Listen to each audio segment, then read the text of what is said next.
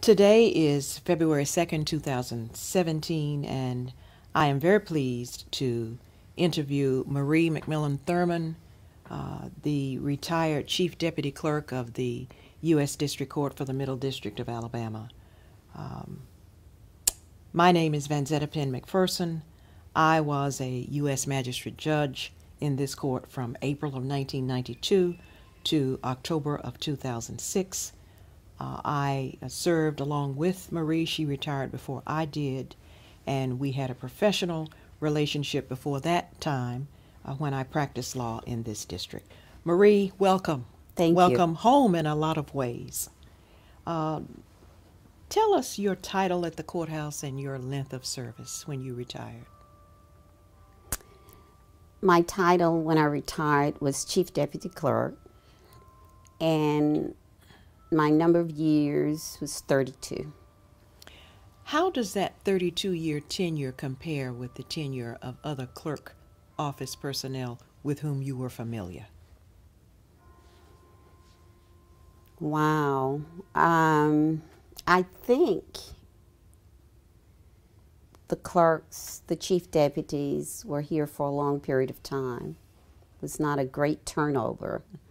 Um, was there anyone when you retired who had been with the clerk's office longer?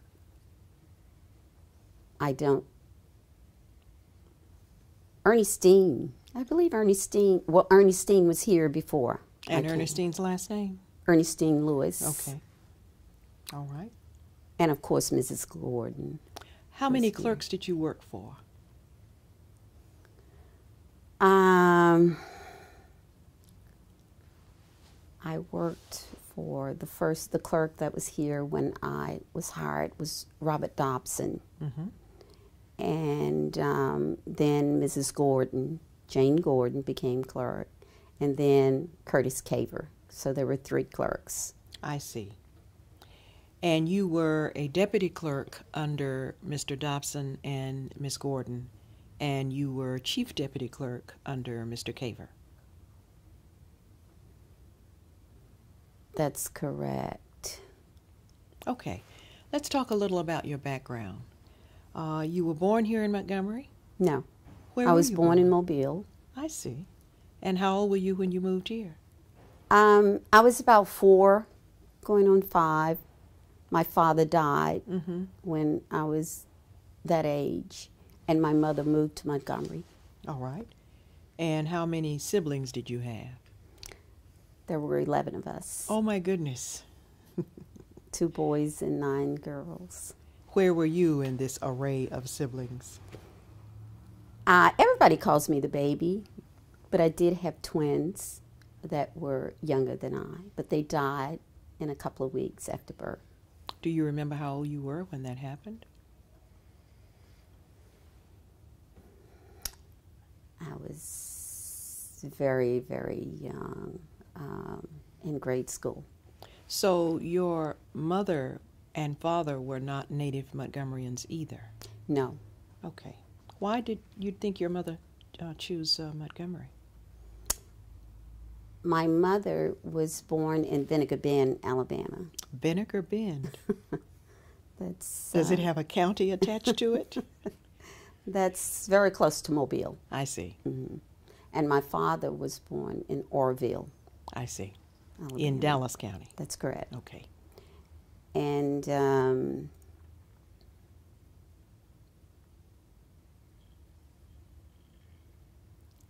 she moved here, and I don't really remember the reason, but she moved here, and of course, she went to work because before that, she was a housewife. I see.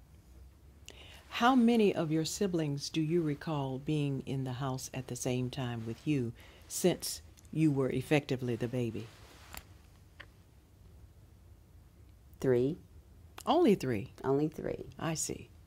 Three others, and you made a fourth, or a total of three? A total of three. I see. So now, you- from time to time, they were back and forth, but I see. Mhm. Are all of them still living? No, I only have one sibling still living. Just Her one. sister. Where is she? She's in the Atlanta area, Douglasville, Georgia. What did your mother do for a living when she began working? My mother, when she came to Montgomery, she went to work for St. Peter's uh, Catholic The Church. church. Well, Okay. St. Peter's Parish. Okay. Um, she was um, the housekeeper and cook. All right. And Were she you worked there for 35 years. Goodness. Yes. Were you already Catholic when you moved to Montgomery? I was not. Do you believe that you became Catholic as a result of her work? No, my mother was Catholic. I see. And so that's why I became Catholic. But I was not baptized as an infant. And I your home church when you were a child? My home church is St. John the Baptist, and it still is my home church. Here on, in Montgomery on Right. Union Street. I see. Where did you move to when you first came to Montgomery? When I say where, I mean where in Montgomery? When we first moved to Montgomery, I lived on St. James Street. Which was Off then on the east side of town. No, south. South side of town. Okay. It's over near Alabama State. I see. hmm How long did you stay there? Wow. I don't remember the. Did you ultimately Exact- move to another location? We ultimately moved to the projects. And the name of the projects? Was uh, Patterson Court.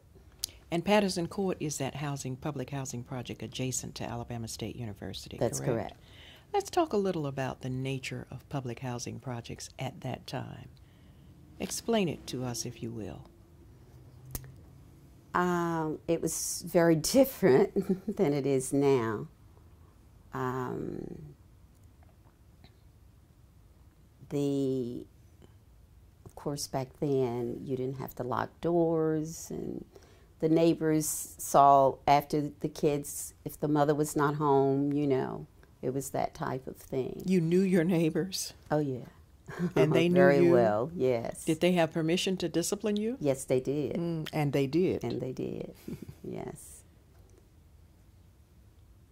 Was it a place where uh, people considered themselves to be upwardly mobile? That is to say, uh, they were middle class and they were hardworking people in the housing projects at that time? They were all hardworking people, and a lot of them were professional people. People they were teachers, you know. Mhm. Um, it was not just um, the ordinary jobs that some people had. Sure. Was there a crime problem at Patterson Court? There was not at that time. Very quiet? very quiet, very peaceful. Where did you uh, end up going to school? You mean elementary? Yes, when you- Okay. I went to Booker T. Washington Elementary School. And that was located up the hill from you, wasn't it? That's correct. Did you walk to school? We walked to school. We did not own a car, so I had no choice. And you didn't ride a bus? didn't ride a bus. Okay. Didn't all have a need to ride a bus. What sorts of activities did you participate in as a child, other than school and church? Basically, um, other than playing with the neighborhood kids, um, I didn't do a lot of um, playing outside when my mother was not at home, when she Mhm. was at work.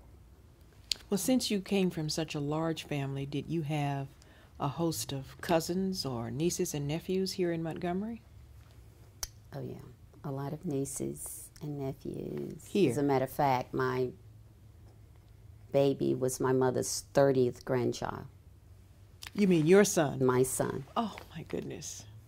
Did she remember all of them? Oh, yeah. And she would never forget them.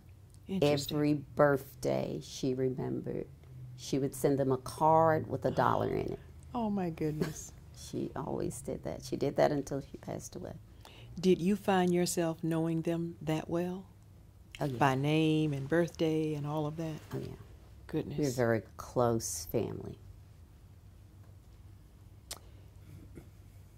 While you were in elementary school, did you participate in any extracurricular activities? I did not.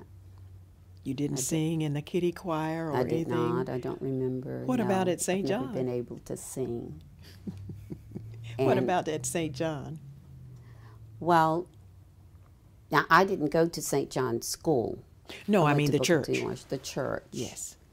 Well, I didn't sing in the choir ever because I'm not a singer. I see. So I never did participate in the choir. But um, we would have what you call CCD classes, you know, where you would go to that and I would participate in that. I see. And then as I grew up, then I became like um, um, one of the readers doing mass, and they call them lectors. And I still a- am a lector. Here's a question I've always wanted to ask. When you were going to St. John Church as a child, and obviously since you are still a member, that means that you went to St. John Church through college.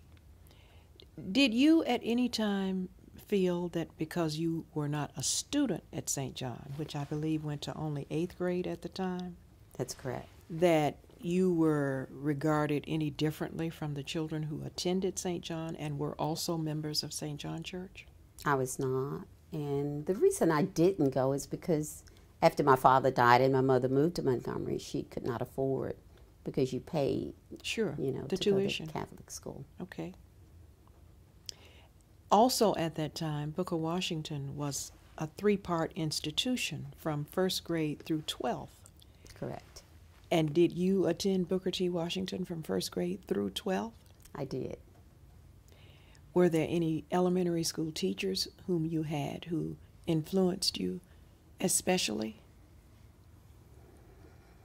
I remember Miss Arrington, and Miss Arrington at one time, she was the principal, Elizabeth Arrington. and um, but other than that, I can't remember the names. I don't remember the names. Do you currently have any friends with whom you went to school from first through 12th grade? Um, actually, um, my some of my classmates from Booker T. Washington, we still get together once a month and have lunch, and it's about between fifteen and twenty of us. Really? hmm And we go to restaurants, and whoever's having a birthday that month, they choose the restaurant we I see. where we go. I see. So there are a few who I went. from- Those few elementary people through- who really know you. Yes. Yes. So then you went on to junior high, and it was called junior high in those days, not middle Correct. school, and then high school. Correct. What activities did you participate in in high school? In high school, I was on the debate club. I was in the debate club. I was a majorette for four years, and um, as a matter of fact, I was head majorette my senior year. We remember. and did you have any uh, especially influential teachers in high school? I did. Um, I loved business, and so typing and shorthand um, were my favorite subjects. And Mrs. She was Benny Black at that time. Of course, now she's Mrs. Benny Reese. Yes. But um, I watched her, and I so wanted to be like her in many ways. What do you think sparked your interest in business courses and the business world? Did you have anyone in your family who'd been in business? Um, I did not. Um, I did not. I just, um, always wanted to be in that profession. Did Mrs. Reeser encourage you? She did. She did. When you were in high school, were those courses electives or were they required? Elected. I see. hmm What did you not take in in order to take business? I didn't take a whole lot. Of course, you had the, the Sure. regular math and Mhm, science mhm. classes, but I didn't take a whole lot of them. Okay. Okay. Did you later pursue that in college? I did. How did you decide where you were going to college? I actually wanted to go to college away from home. And I had planned to go to Tennessee State University. And of course, In Nashville. in Nashville, Tennessee. And then right before I was ready to go, you know, I just realized my mother really couldn't afford that. I'd already been accepted. We'd started buying things, you know, the trunk and all that, so my things could be shipped and all. But uh, I realized she couldn't afford it, and so I decided to stay home. Your mother didn't State. tell you you couldn't go. She did not tell me I couldn't go. You just decided. Yes. Why Tennessee State? Um, I remember when I was in high school, I did belong to the Girl Scouts. And we went to Nashville on one of our Girl Scout trips. And I just fell in love with the area. I see. How did you announce this to your mother? Um, I watched my mother, and she worked very hard. And um, we just sat down and talked, and I told her um, that I knew she wanted, that she would allow me to go, and I knew what a hardship it would be on her. And so I decided to stay home, and of course, she was thrilled that I would Thrilled that you weren't going and costing her money, or thrilled that her baby was staying at thrilled home? that her baby would stay at home. I see. Let's identify her. Her name? Justine Moody McMillan. All right.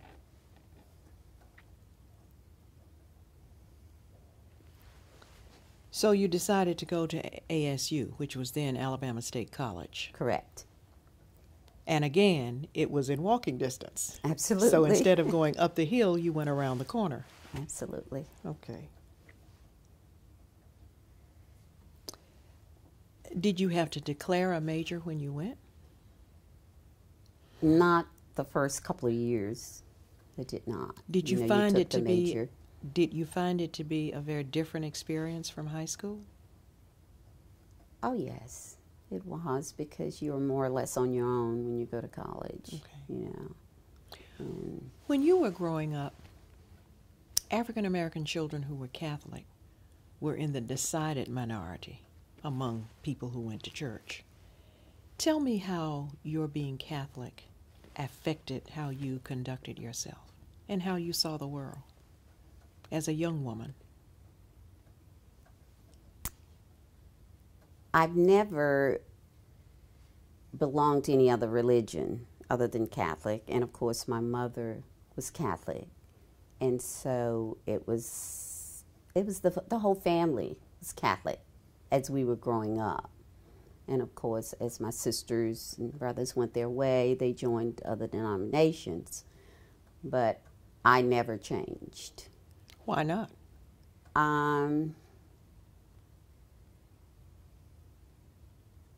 because that's well, one thing that was all I've ever known was the Catholic Church, and I've never had a desire to leave it, even though I visited other denominations.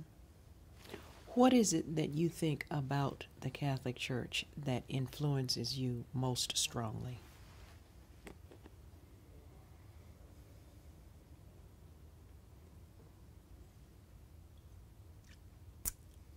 Um,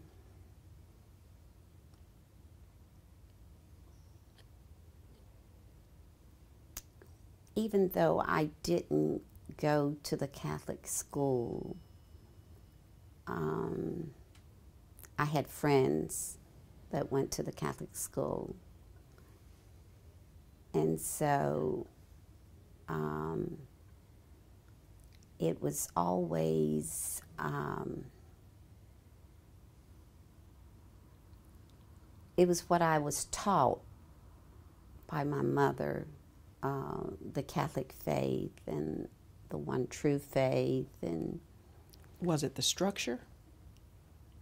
I think the structure had a lot to do with it. Okay. Um, Have you ever met or seen a pope? um, not in person. Mm-hmm. Okay. And did you continue practicing actively your faith in college? I ask that question because so many people go to college and drop off. I did. Mhm. Yeah, Okay. that was something that we knew we had to do, and that was go to church Sure. on Sunday. And even when I went away for the few months I did, um, in leaving Montgomery after I graduated from college, I found the church, the Catholic church, and I do that now when I travel. I don't care where I am. I find a Catholic church and go to mass on Sundays. Do you? I do. Okay. Do you feel uh, strange or lacking when you don't? it just doesn't feel, feel like it's Sunday if I don't go to church. Okay. And I'm sure that's because of the way I was brought up and it was just instilled in me that Mm-hmm. you go to church. Do you think that having been Catholic all your life, especially in your work here, that it facilitated your ability to assume your responsibilities? Not necessarily, but um, Which is another way of asking how big of a role did your faith have in your um, sense of duty or responsibility? I've always been a responsible person. And um, everybody, all the people that I was around knew that. And they knew I was dependable. If things needed to get done, I would see that they were done.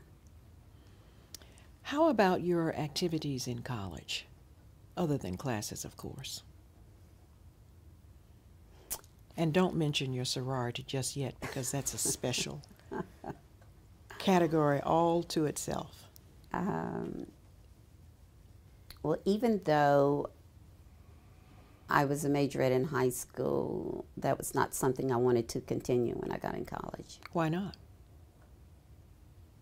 I just didn't have a desire to. And so I didn't go out for the majorettes. Um,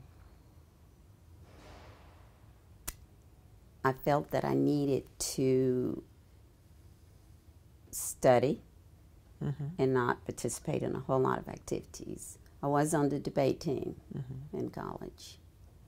And um, I was in some of the organizations, business organizations. But other than that, Were you the type of student who attended every game? no. I wouldn't say that. Football or basketball? No. Even though I do enjoy football and basketball now. And in spite of the fact that you live so close? Right. And I did go to some, but not just every Okay. every game. Now, anyone who knows Marie Thurman um, knows that her name is almost synonymous with Alpha Kappa Alpha sorority. So, I have a series of questions about that. First and foremost, which person or persons were the major influences on your pledging, AKA in college?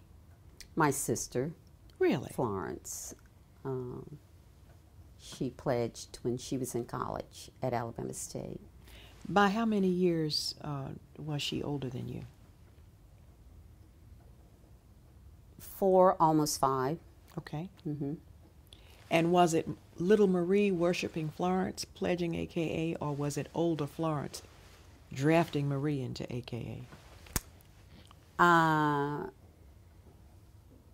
I just adored her, and I would just when she was even pledging and studying, and um, I would learn the material with her, and so she was a great influence. Was she living at home with you at the time? Um, she was um, at first, but she moved away. She got married and moved to New York. I mean, during the time when she was pledging, she was. Oh yeah, she, was, home with oh, you she every. So you school. saw her go through the pledging activities, Yes, and it's something you found really attractive. You I learned did. all about it. I did. So by the time you pledged, you had a head start You on the material. Of course, You knew the alphabet. I knew the yes Okay. alphabet, some of the songs, because I would listen to her as she studied. Okay.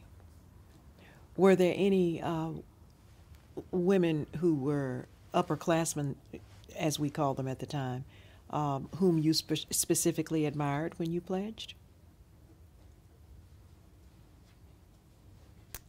Um,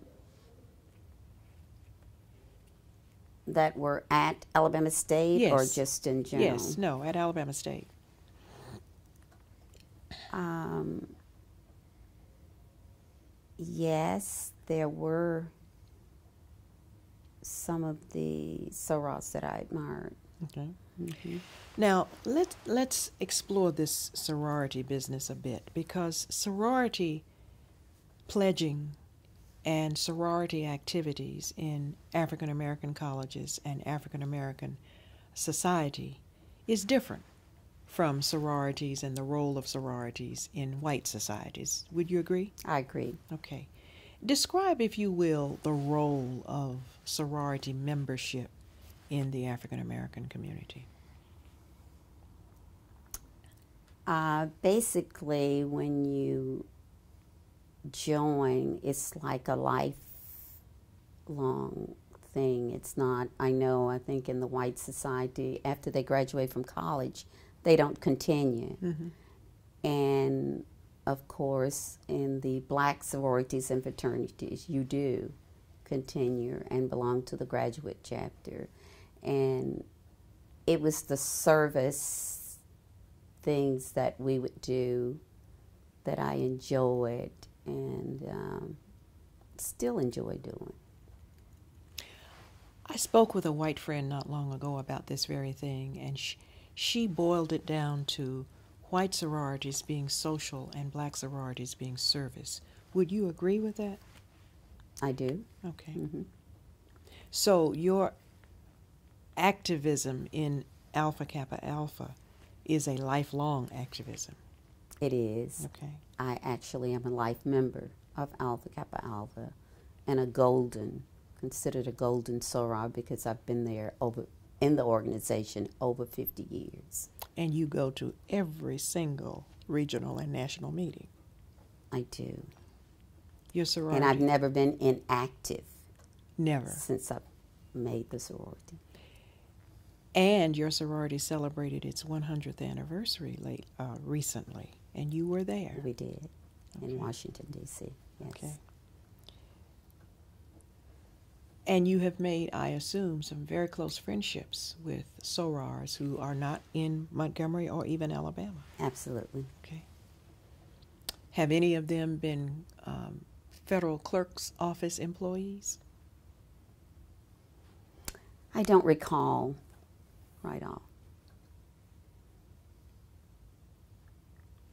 How has sorority life changed in those 50 years? I know one thing that's changed is I understand that, let's say 50 years ago in the graduate chapter, women actually wore gloves to meetings. That's true. and uh, we still dress professional when we go to meetings. There are some meetings where you can wear paraphernalia, but that's very seldom. I see. Okay. Have you ever been an advisor to any of the college chapters here in Montgomery? I have not, but when I, after I pledged on campus, I became dean of Pledges. and so I was helpful in helping other young ladies become Mhm. members of our great organization. Mm-hmm.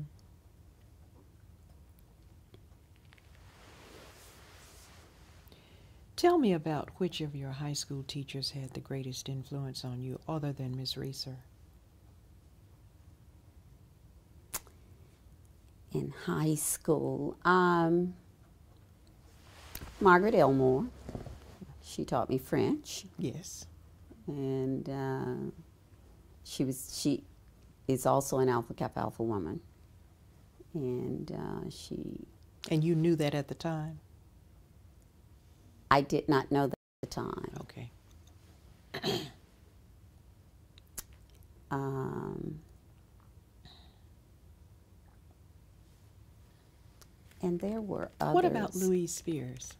Louise Spears. Um, Let me tell you why I mentioned actually, her. when I did my student teaching, I did it under Louise Spears at Booker Washington.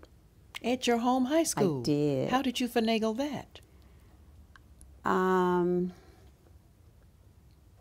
well, I had spoken to her about it, I see. and uh, she was in the business department, and so I was able to do it under her.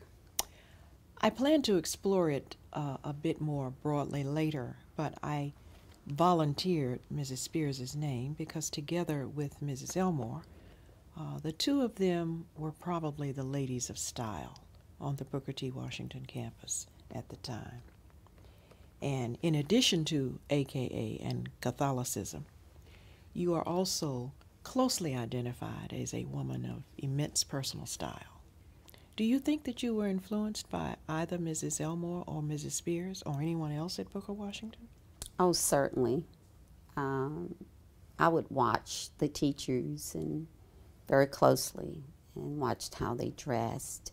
And then we were taught that in the business department Mm-hmm. uh, how to dress and how we should look. Did that influence continue when you went to college? It did. Under whom? Um, Mrs. Donnelly. Um, I had a lot of classes under her, and of course, they also taught that they talked about how you should dress, especially, you know, well, at, not only at all times, but when you're going out on interviews and things of that nature. So, personal appearance was something that you learned to pay close attention to early. Oh, yes.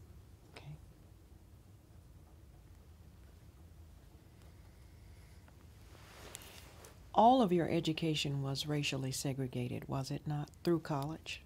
It was. Did you ever have any aspirations as a teenager other than working in the business world? Did you ever fancy yourself as something else, like most little girls? Not that I recall. Nothing else. Always, no. After you graduated from college, did you go to graduate school? I did not. Did you deliberately refrain from going to graduate school, or was there something else about your work life that simply turned you in another direction? It was just that when I graduated from college, I needed to work. And um, I went right to work. What about later? Well, once I guess I was stable in the position, then I just didn't.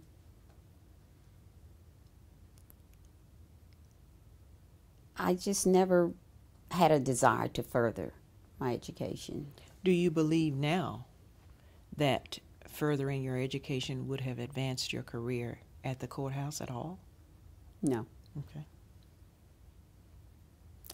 When you graduated, you went far away from Montgomery and far away from this courthouse for your first job. I did. Tell Oh. me about that. I went to um, Sparta, Georgia, which is um, it was a very small town, one red light. but one of my friends um, worked there, and she told me about the position, and I applied, got it. What was the position? It was a business teacher. It was Sparta High, uh, Hancock Central High School in Sparta, Georgia. Was it a segregated school as well? It was. And I taught typing shorthand. Did you have a car? I did not. When I first went there, I had to ride the bus. And um, there was not even a bus station, so you would get off in front of the store and somebody would be there to pick you up. But I did purchase a car after I got there. How often did you commute by bus? Every weekend? Every weekend, they used to call me the suitcase teacher because I would want to come home. There was nothing to do there. So how did you find a church? Um, just asking around, and then actually the closest Catholic church was Mill- Milledgeville, Georgia, and so I had friends that would, you know, take me to church, and that was one of the big reasons I needed a car. How far away was Milledgeville? Milledgeville was about 25, 28 miles one way. How long did you remain at that high school? I taught eight months, I think it was.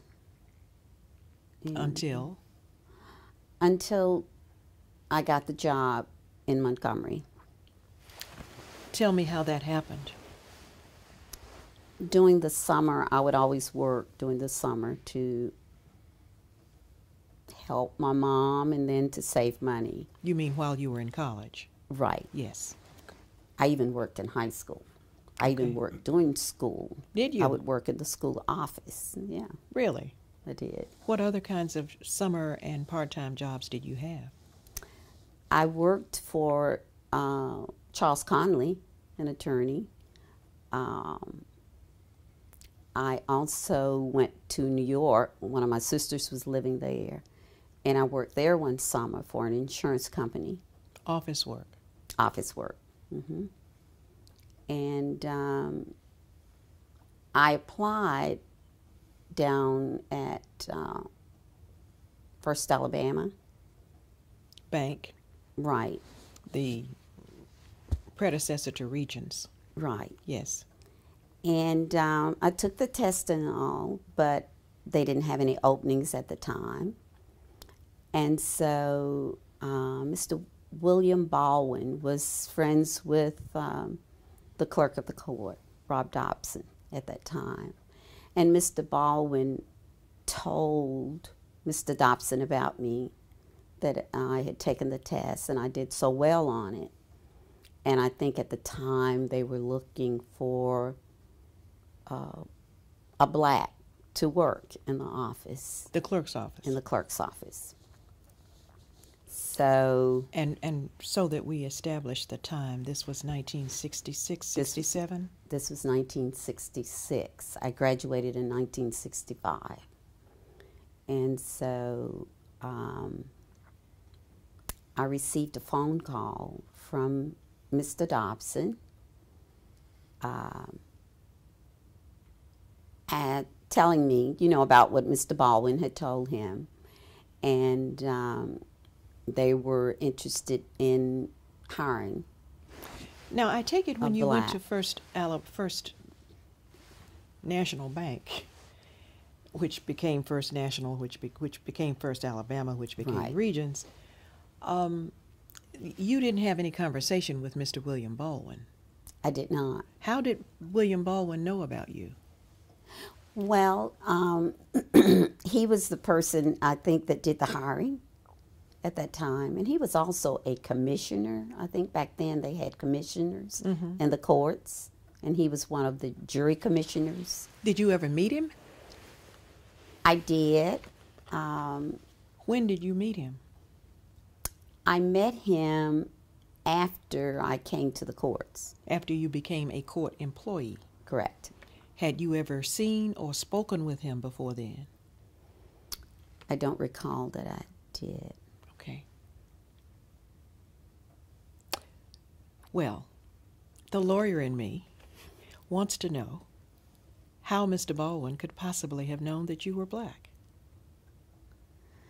Well, I'm sure from the application, You indicated your race on the application? I think it was. Okay. And I'm sure the person who gave me the test that he probably spoke with them. Okay. Who told you that the courthouse was looking for an African American employee? Well, Mr. Dobson called me. Nobody told me. He called me. I was working in Sparta at that time at Hancock Central. Okay. And he said that Judge Johnson would like to interview me. They had an opening.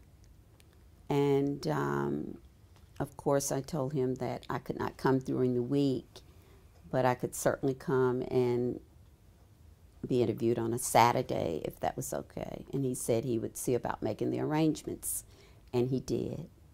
His reference was to Judge Frank Minis Johnson Jr., Correct. who was the sole district judge of this court at that time, Correct. and in whose library we are currently sitting. Yes. All right. So it was Mr. Dobson who told you that the courthouse was looking for an African American employee. Absolutely. Okay. Did he say why? He did not, but you know, it was during desegregation time, Mm-hmm. and um,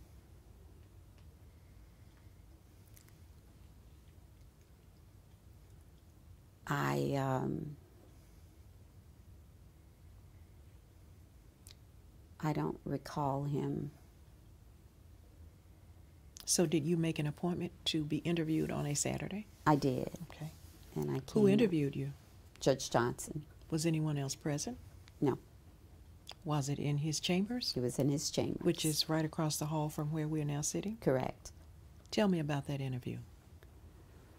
Well, we talked, and um, and then he told me about Mr. Baldwin and um, about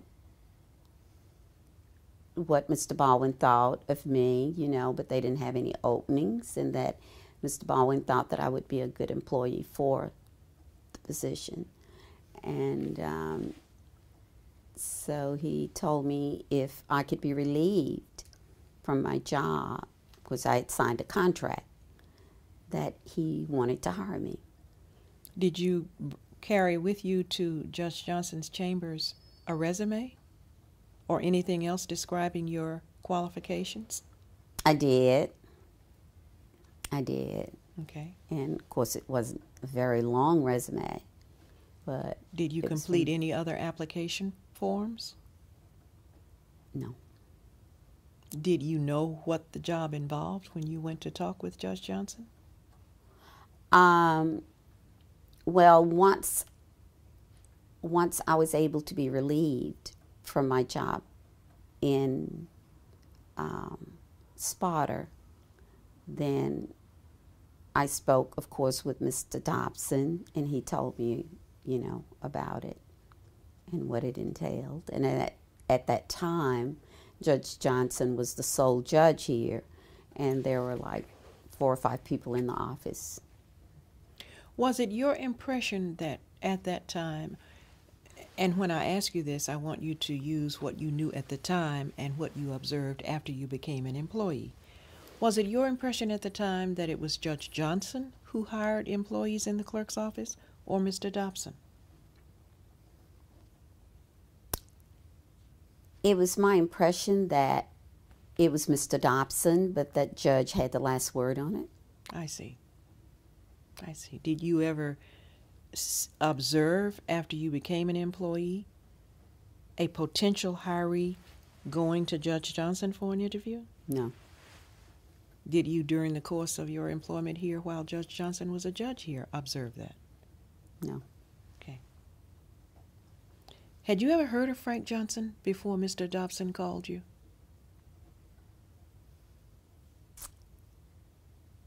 You know, I don't think so. I don't think so. This was 1966. So you weren't aware of his role in the desegregation cases, especially the voting rights cases that arose from the Selma to Montgomery March or any of those cases? Not at that time. Okay. And during that time or period, the first floor of this courthouse was the United States Postal That's Service. correct. Would you agree that it is likely that most African Americans generally went no farther than the first floor of this building? You mean Using this building, using the facilities of this building, that you came in, you used the first floor, and you went you went out. right, right. Had you ever been to the second floor of this I had building? not. Did you know that there was a courthouse or courtrooms and judge office on the second floor? I did not at that time. Did you have any idea what was up here? Um, I did know that it was a federal courthouse. I see. Okay. Okay. You'd never attended a trial No. or been involved in any action or gone to the clerk's office for any reason? No. Okay. There was an African American employee working for the U.S. District Court uh, or U.S. Bankruptcy Court before you were hired, correct? That's correct. What is her name? Carolyn Elaine Wright. And as I recall, she too is a member of Kappa Alpha. She is. Did you know that Miss Wright was already here? I did not. After I came to work here, we became friends. So she did not pledge with you. No, she Okay. pledged under me. Ah, She pledged the graduate chapter, I not see. in college. I see. Okay. Where was the bankruptcy court located? It was all a part of the clerk's office, the bankruptcy court.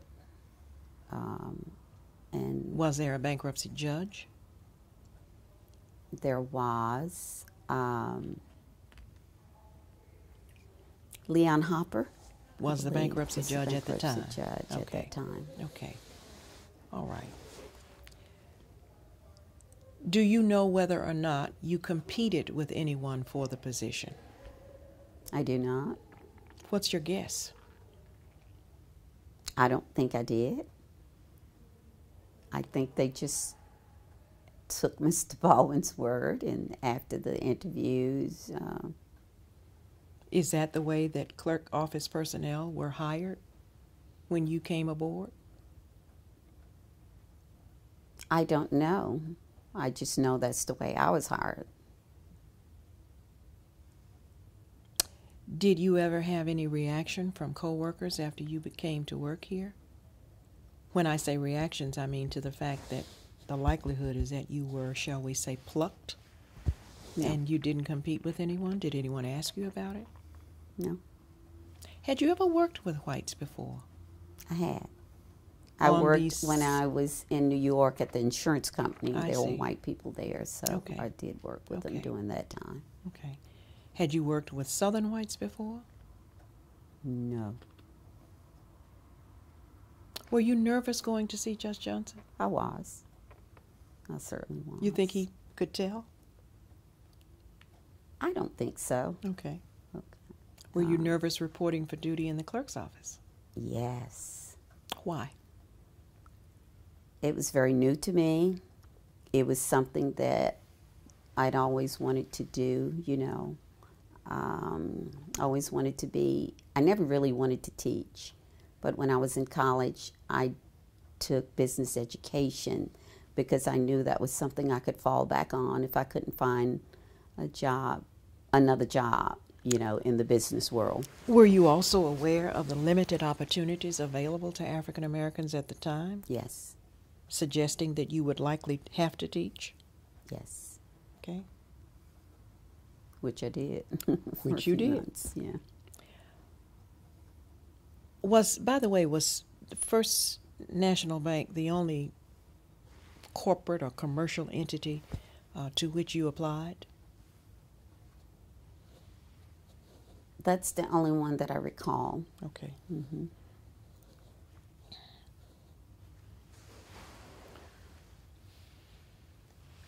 Who gave you orientation to your work? Who told you what you were going to do, told you where the restroom was, told you what the salary would be? Uh, Mr. Dobson and Mrs. Gordon, Mrs. Jane Gordon. What was Miss Gordon's position when you were hired? Miss, Mrs. Gordon was um, the person in charge of the civil part, uh, actually of the office at that time. Was there an operational division in the clerk's office at that time between civil and criminal?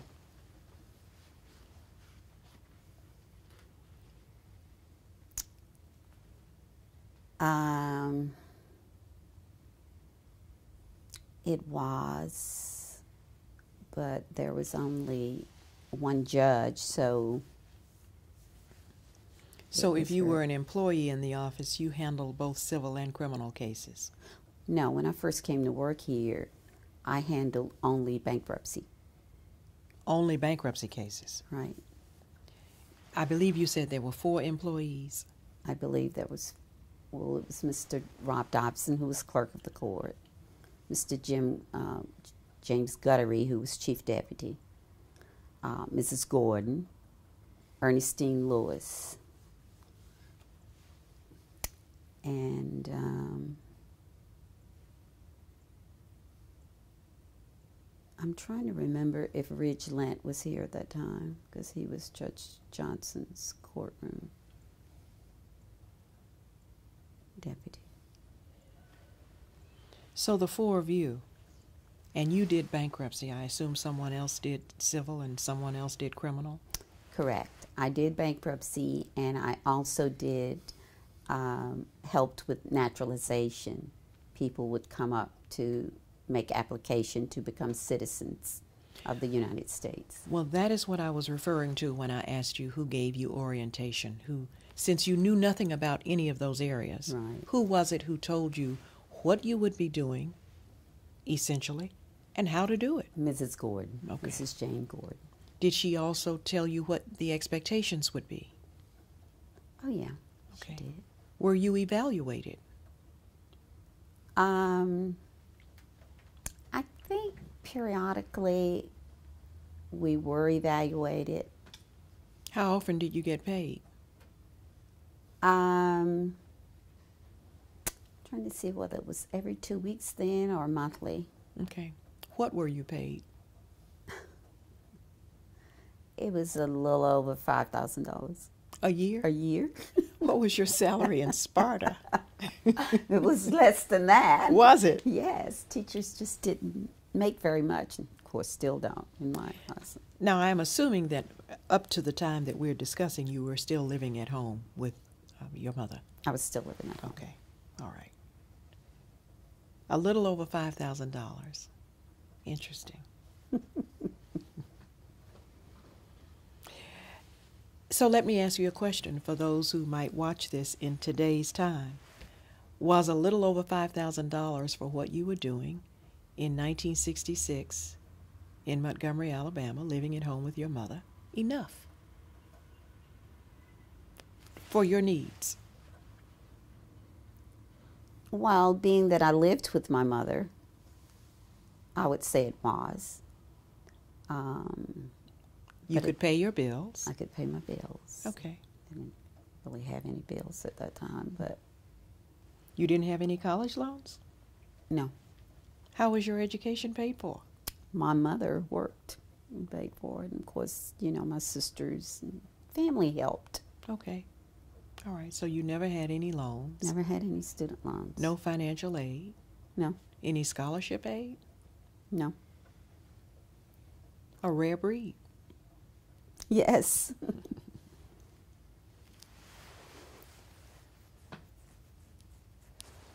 So now you are a deputy clerk. Was that your title at the time? Deputy clerk was my Okay. title. All right. Now, it appears as though you remained in that position for approximately 14 years.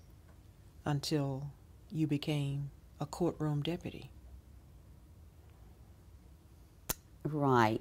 But I moved like in different areas of the clerk's office. Meaning different subject areas like Right. criminal, Like civil. Civil, Okay. criminal. Right. When did you become a supervisor in the office? First.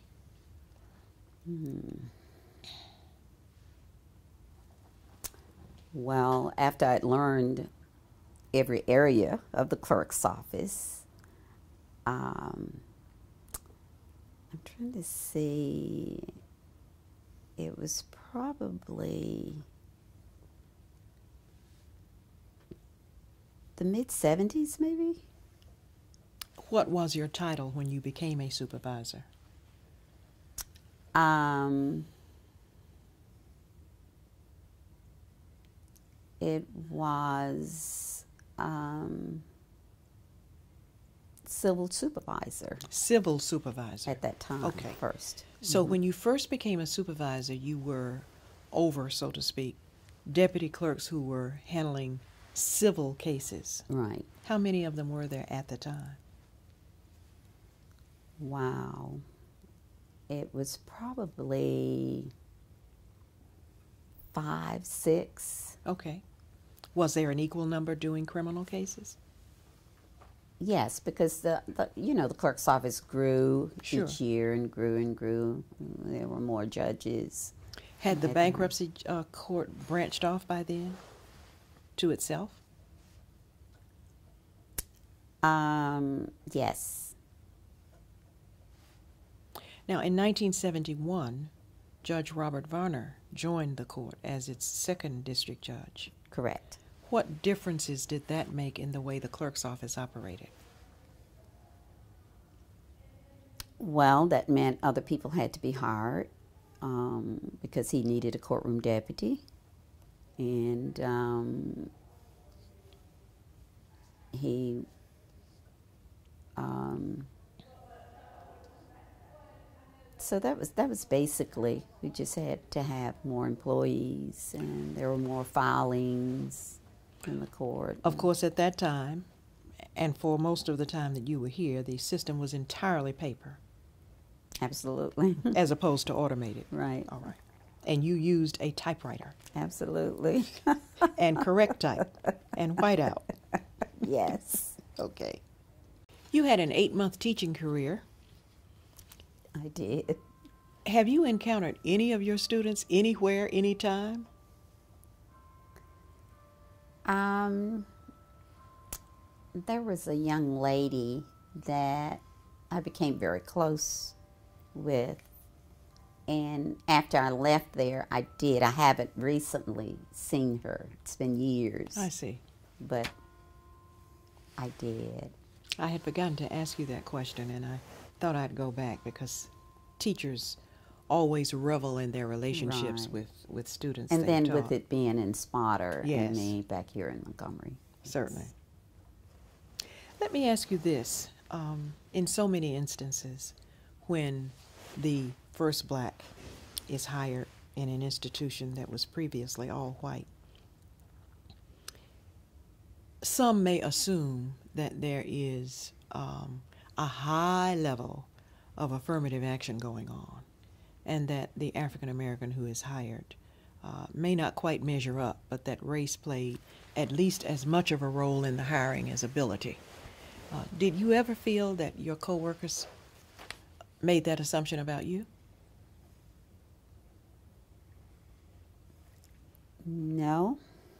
I may have been naive about it, but no. And so your your opinion or your characterization of your initial um, years at work would be that you were treated fairly and honestly by all with whom you worked. I do believe I was. Okay. How were uh, promotions and raises determined in the office at the time? Um, you would be given um, at different times, and I'm trying to remember what it was called, but it was like a certificate or an award that would be given, and then you would get more money As a result of that. as that. a result of that. Okay. And even though I didn't do any um, furthering my education going to college, I did go to seminars and things that were concerning the court in different areas, Seminars, not independent, but seminars sponsored by the court system. sponsored by the court system. Was there an administrative office of courts at the time? At that time, uh, yes, Did you travel to take these seminars? I did. I went to different places. Where were some of the places you went during your first years? Well, not during my first years, I did not. That was after I started learning different, because I wanted to learn all areas of the clerk's office.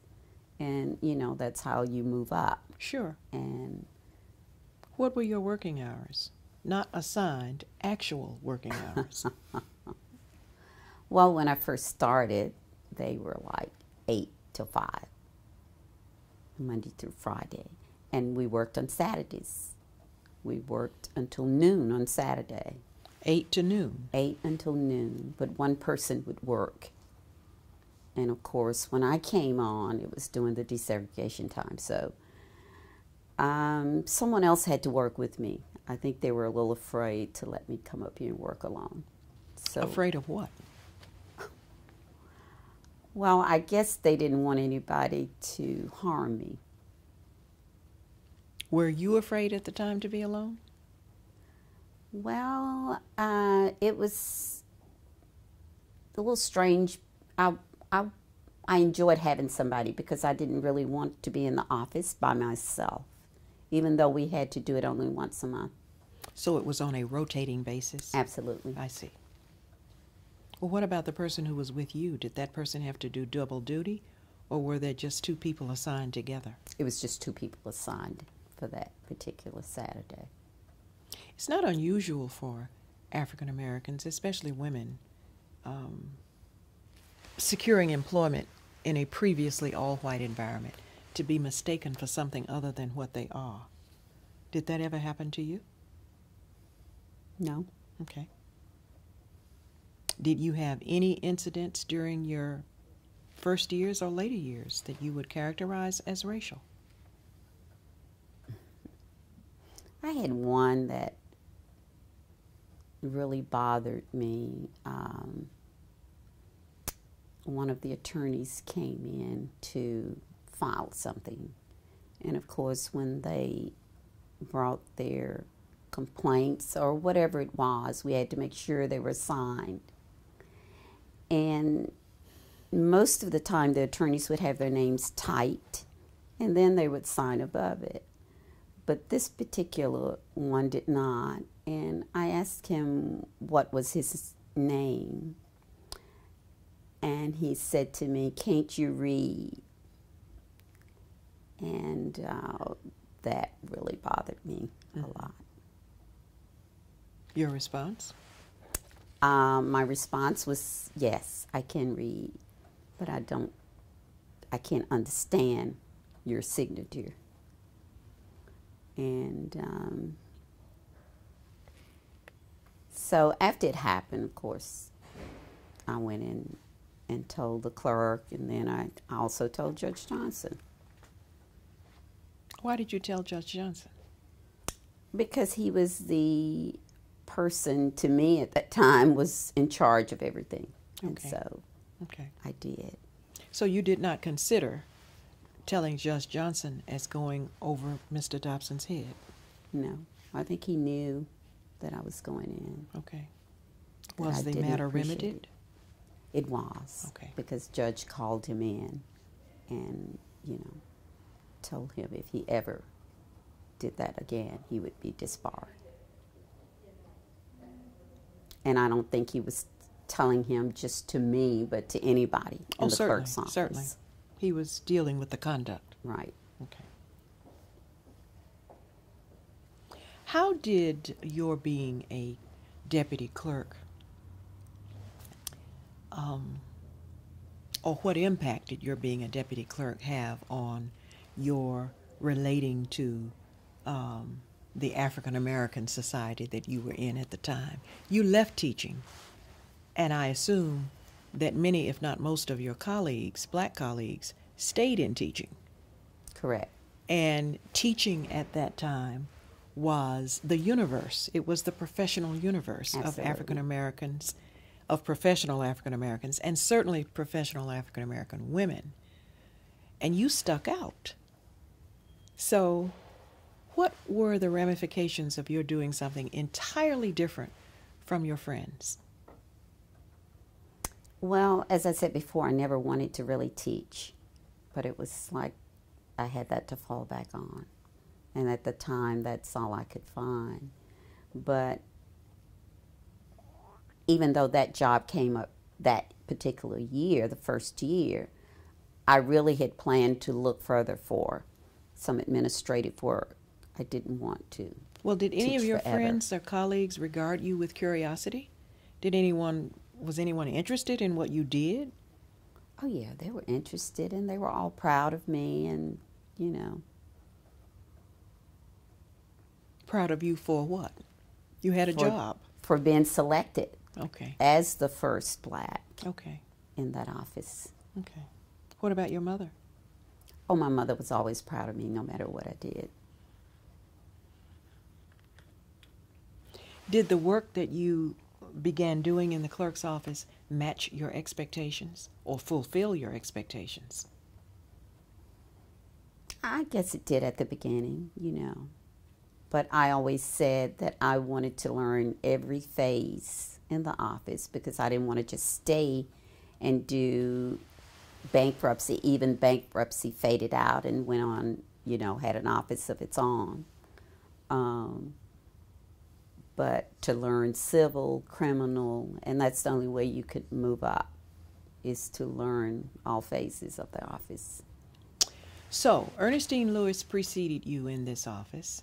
Jane Gordon preceded you in this office. And it is possible that Ridgeland may have preceded you, but you're not certain.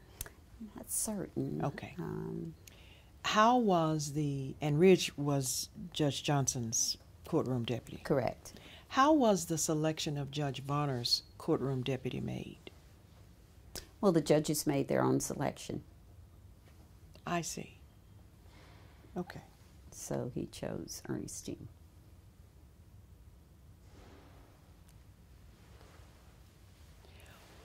What difference did it make and did it continue to make in your job responsibilities once you became a courtroom deputy?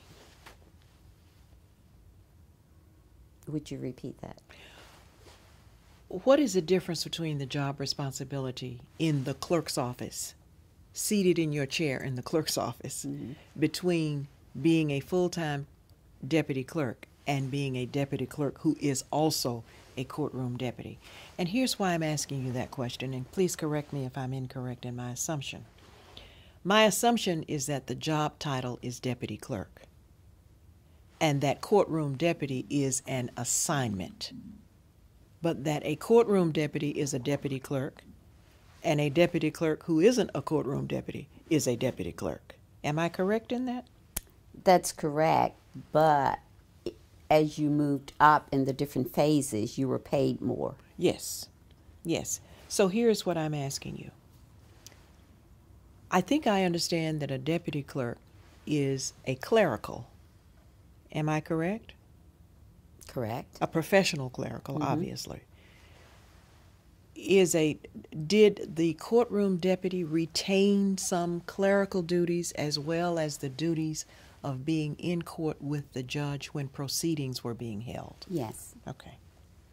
W- yes. were they the same duties as the other deputy clerks, or were the courtroom deputy's clerical duties pertaining only to that judge?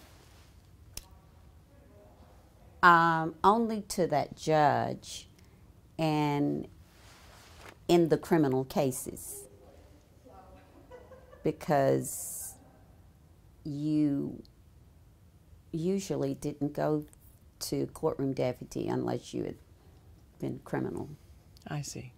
unless you've done criminal work. I see.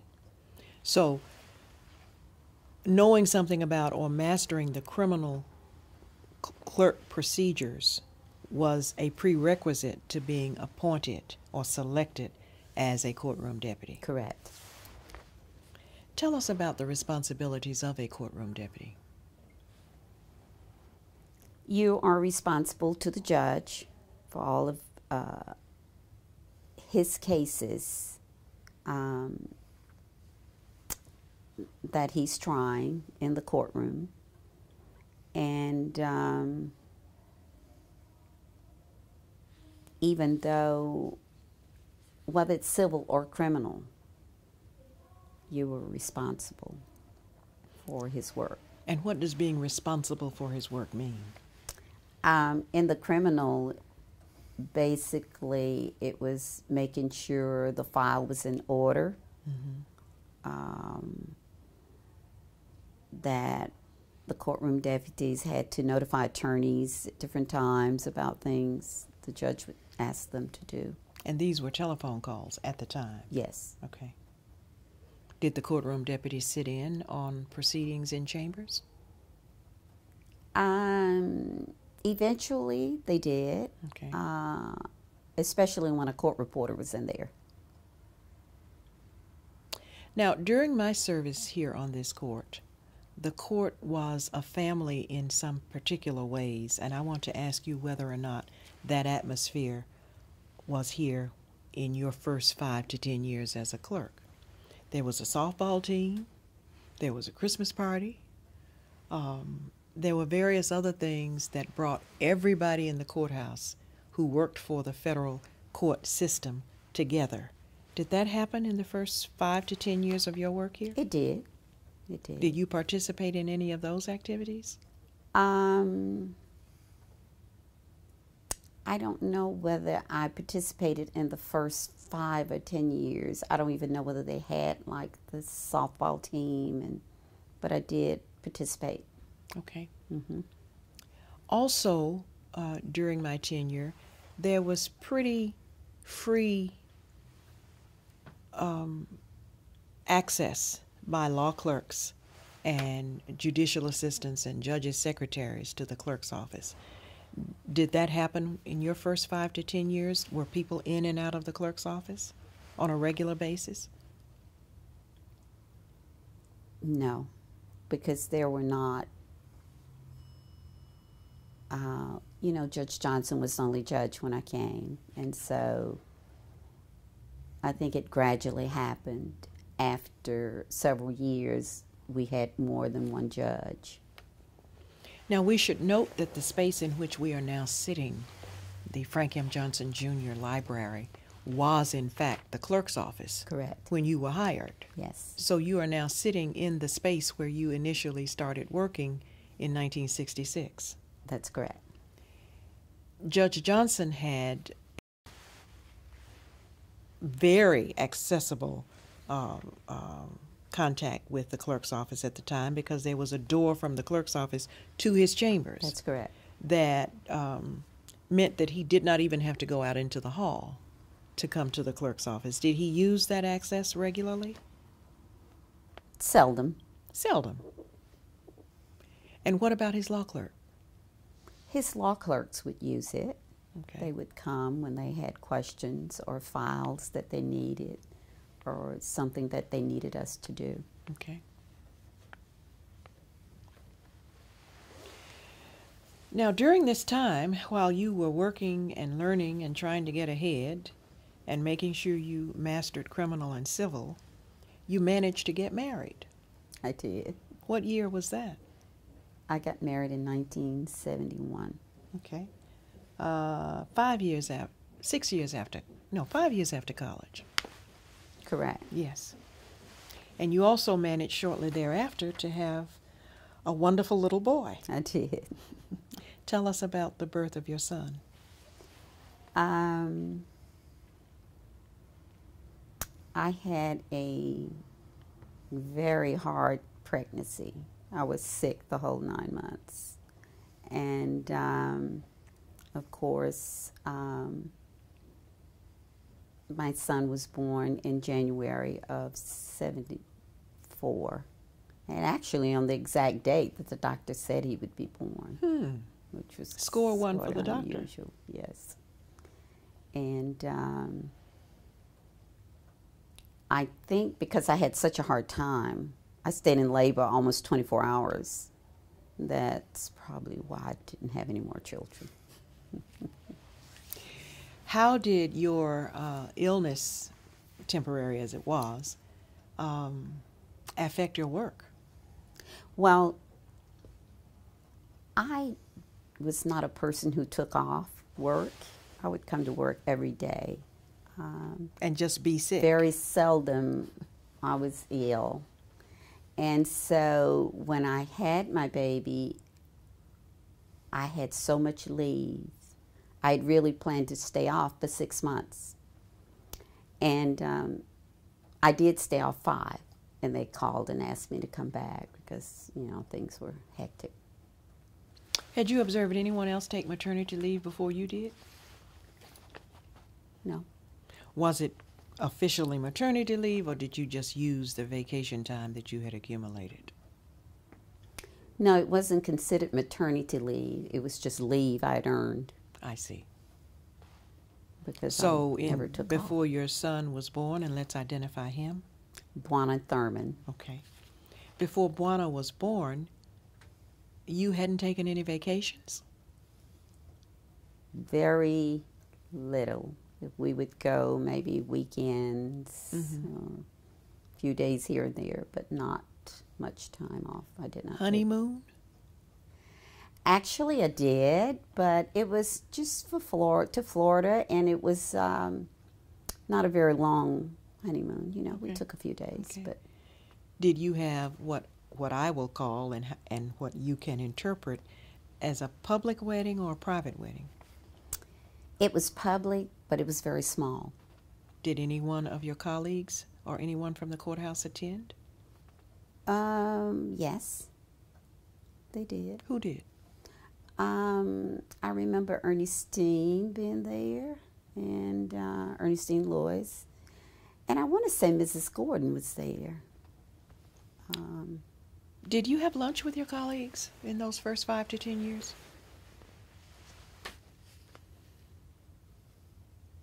Or did, did people go out to lunch? Perhaps that's the threshold question. um, most of the time, I brought my lunch. And um, Ernestine, once we got to know each other, we occasionally went out to, to eat together. Okay. okay. Did you socialize with any of your working colleagues after hours or on weekends? No. Which prompts the question was anyone else in the office Catholic? No. Hmm. How did your, um, you've told me about how your pregnancy affected your work, and I think basically you've said it didn't, really. But now Buana is here, and he's eating, and he's not sleeping all night, and he's a baby. So, how did the maternal responsibilities for this child affect your work? Or your attendance? once I went back to work, um, my husband and I would take turns getting up at night, and that's how we worked it. What about childcare during the day? I was so fortunate. Um, the fa- it was a family that I knew, um, and this young lady came to my home and took care of my child Hmm. every day. For how long? Until he became around two and a half, I decided I wanted to put him in nursery. The same person. The same person. You were fortunate. Yes. Yes. So he could learn how to play with children since he was an only child. And When did you decide that he would remain one? well, I actually had planned to be a career wife. I really hadn't planned to have children. Really? Yeah. What changed your mind? It happened. It just happened. There are a lot of negative um, connotations to calling a child an accident, but for the narrow purpose of this conversation, was Juana an accident? Um, I wouldn't say it was an accident, but yes. but I would not give him up for anything, Or change anything? change anything. No. Okay. Okay. But since I had such a a hard pregnancy, I decided not to have any more children. Okay. Would it be fair to say that you could stand another child but not another pregnancy? I love children. Okay.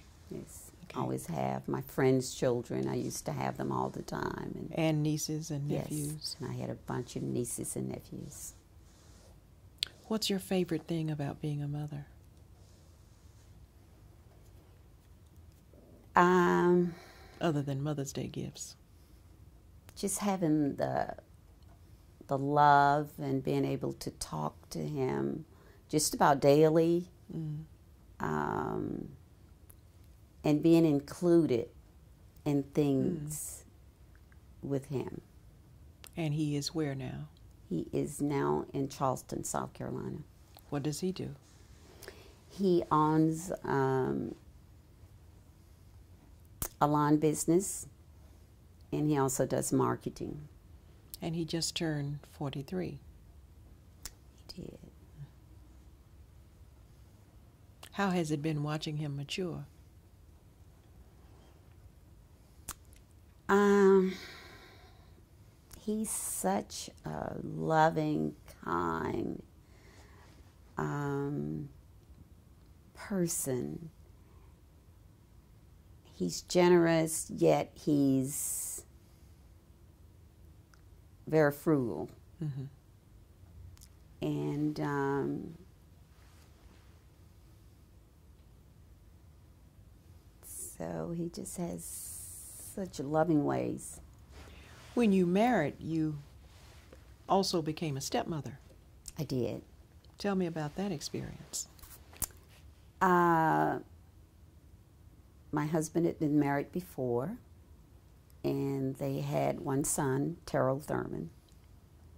And um, of course, at the time we married, his mother was still living, but she died um, when he was young. Um, so it was. Um,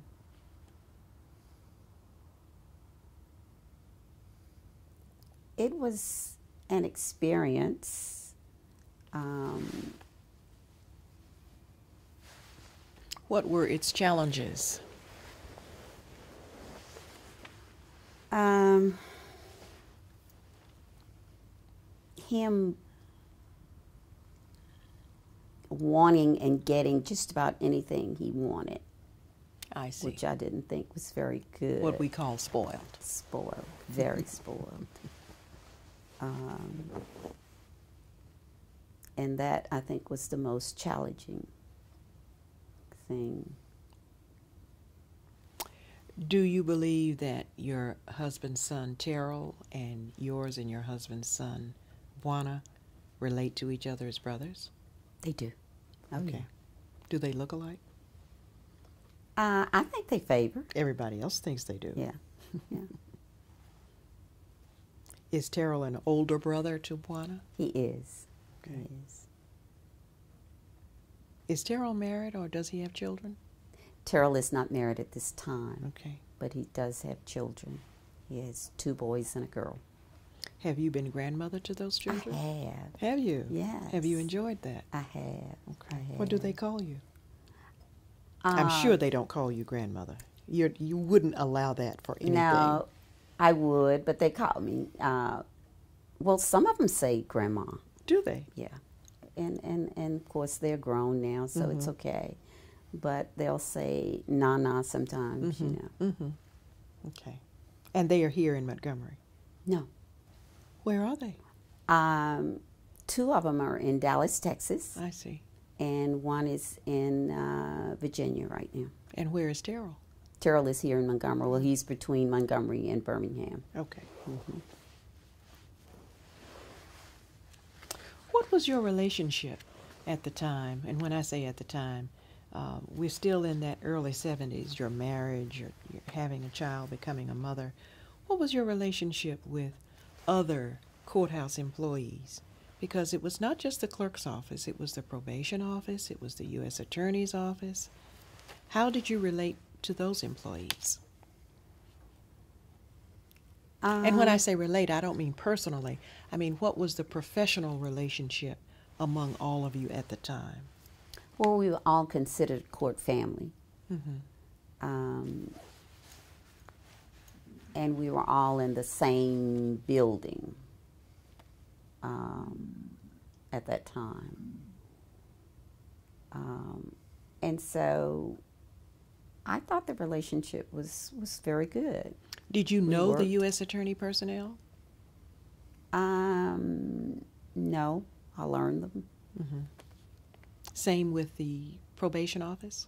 Same at Okay. that time. At the time I came on, And of course, at that time, that is to say until 19, through 1975, we'll get beyond that later, there was no public defender service.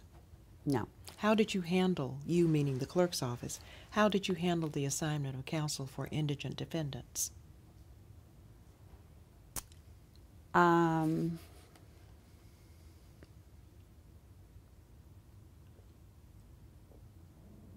I believe when I first came on, the judges were appointing them. And was it your responsibility to get in touch with them, make sure they had access to the file Yes. and other necessaries? yes. Was it also uh, your specific responsibility to make sure they got paid? To make sure the attorneys Yes. uh, were paid. The criminal Yes. docket clerks would, would yeah. do that. mhm, Okay. see to that. Okay. What was your first promotion in the clerk's office? And when did it occur? The first was from doing bankruptcy to civil. Did you get a pay raise? Um, I think slightly. Okay. You ultimately became a courtroom deputy yourself I did. in 1980. So let's start with 1966 when you came at 5,000 plus, up to 1980, just before you became a courtroom deputy. By the time you became a courtroom deputy, what had your salary become? Wow. I don't remember right off, but it was, I mean, it was certainly much, much more. Um,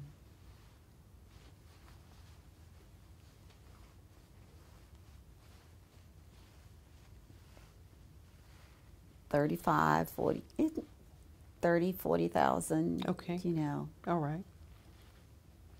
Did you apply to become Judge Thompson's courtroom deputy? um, Or did you go the Judge Johnson plucking route? No, I um, actually, um, Judge had spoken to me about being his secretary, Judge Thompson, that Judge is. Thompson. And um, when I decided that maybe I would try that and went back to talk to him, of course, he had hired Lillian. And so he asked me to be his courtroom deputy. Was the job of judge's secretary at all appealing to you? Not really. Okay. You preferred to remain in the clerk's office at the time. So your interest in it was more or less responsive to his request. Absolutely. Okay. But you were too professional to tell him that. Well, I mean that sincerely.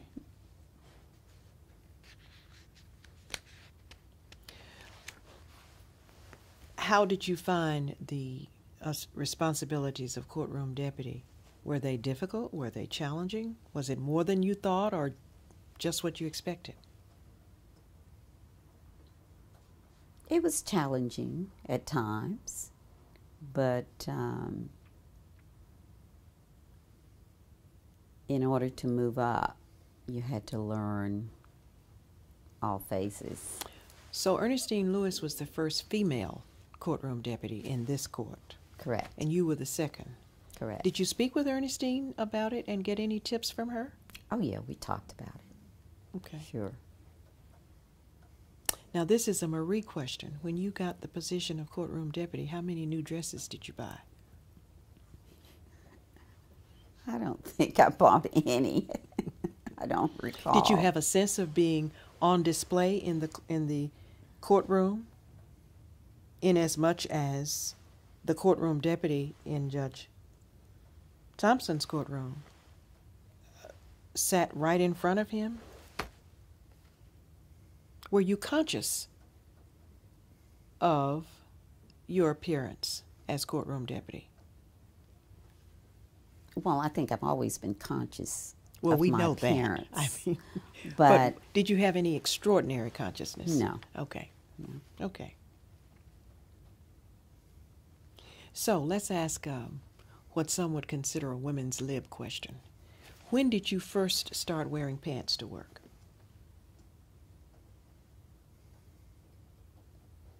I don't recall uh, because I know at first I didn't.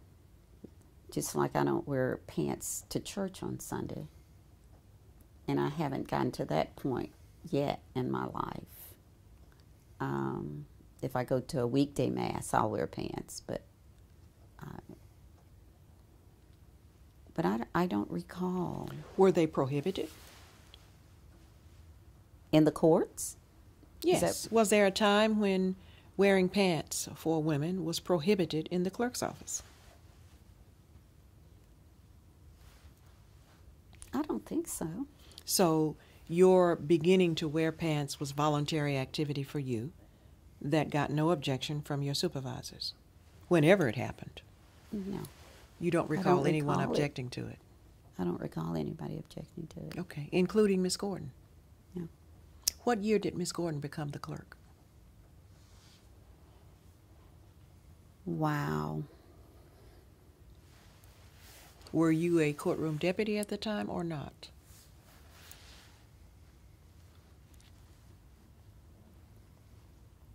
Um, I just don't recall the year. Okay. Um,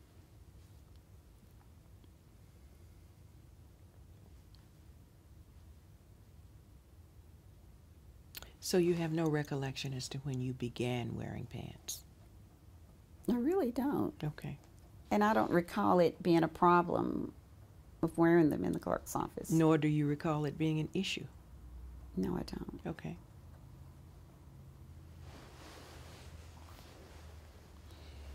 Just as you said, you talked with Ernestine and shared information back and forth when you were appointed as a courtroom deputy. When you came aboard in 1966, did you talk with Elaine Wright or Carolyn Wright, who is the same person as Elaine Wright, um, about being an African American in this environment? I did not because um, when I first came to the clerk's office, you know, it was more or less focused on learning. And it was a while before we met and became friends. I see. So you mm-hmm. really did not know her when you came. No, Okay. Okay. So you become a courtroom deputy, and you are a supervisor by that time, are you not? 1980. yes, So actually, you have three identities unless you tell me differently. You're a court, you are a deputy clerk, you're a courtroom deputy, and you're also a civil supervisor. Yes. How many people were working under you?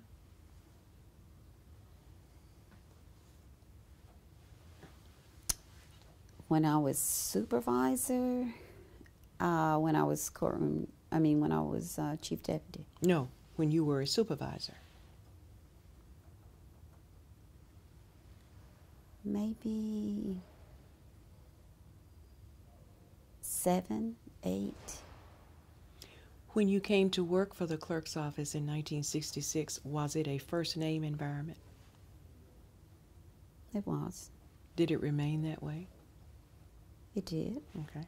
Even people whom you supervised? Yes. Okay. Did you have any responsibilities when you became a courtroom deputy that were deleted from your job description?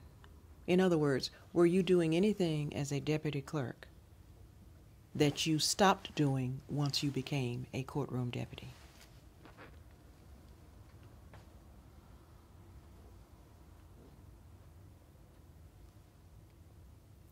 Um,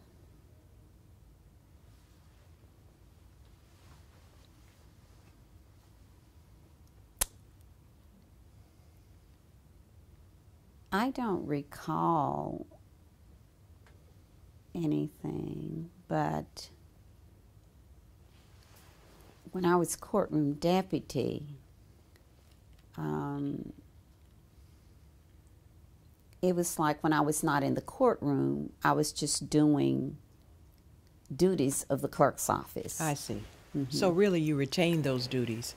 You just did less of it because you had to spend some time in the in right, the courtroom. Right. I when see. you were not in the courtroom, you did duties. You All had right. duties in the Okay. in the clerk's office. Did Did you ever have any um, uh, jury duty? Were you ever assigned as a jury coordinator? No. When did jury coordinator become a part of the clerk's office, as it is now?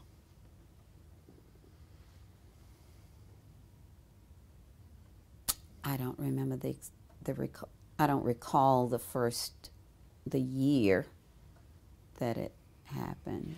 When did intake become a specific duty in the clerk's office, as it is now, and as it was before you left?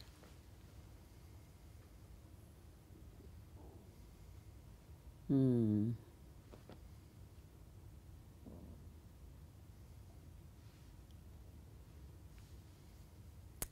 It had to be in the 80s. Do you recall being part of any discussions about restructuring or reorganizing the clerk's office to make it function more efficiently?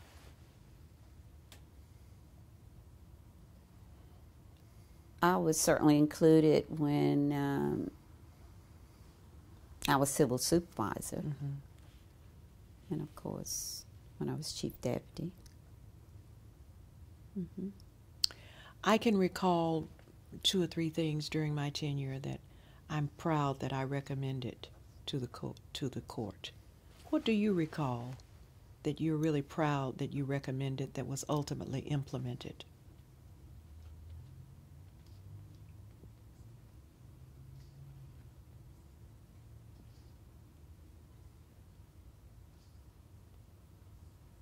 I actually don't recall. There has to be something. Something that was implemented. Yes, either involving personnel or procedures or filing or um, custodianship of records or chain of command.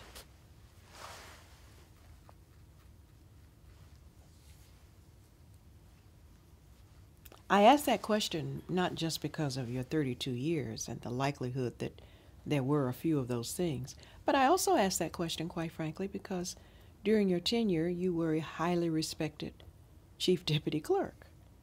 And my sense is that there were recommendations that you made that stuck.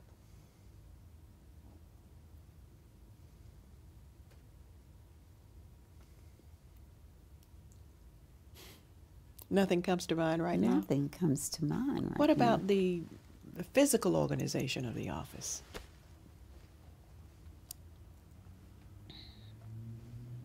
Whose idea was that? When you were chief deputy clerk, you had your own office.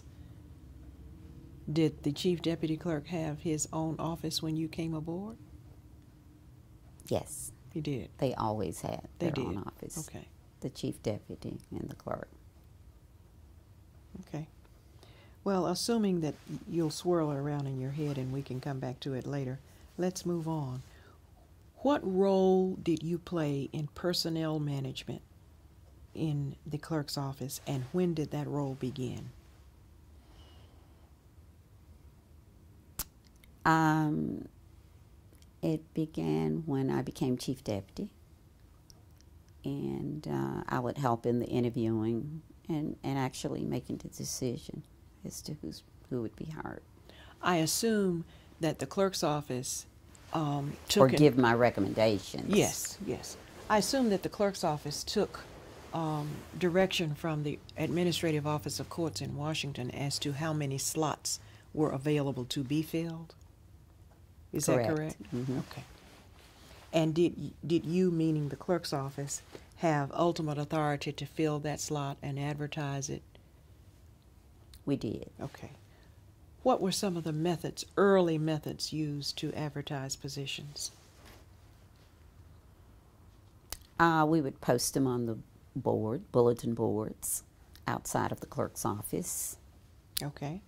and um, that was probably basically it. And there were written applications? Yes. was uh, were I should say these jobs popular in in other words did they generate many many applications Oh, yes.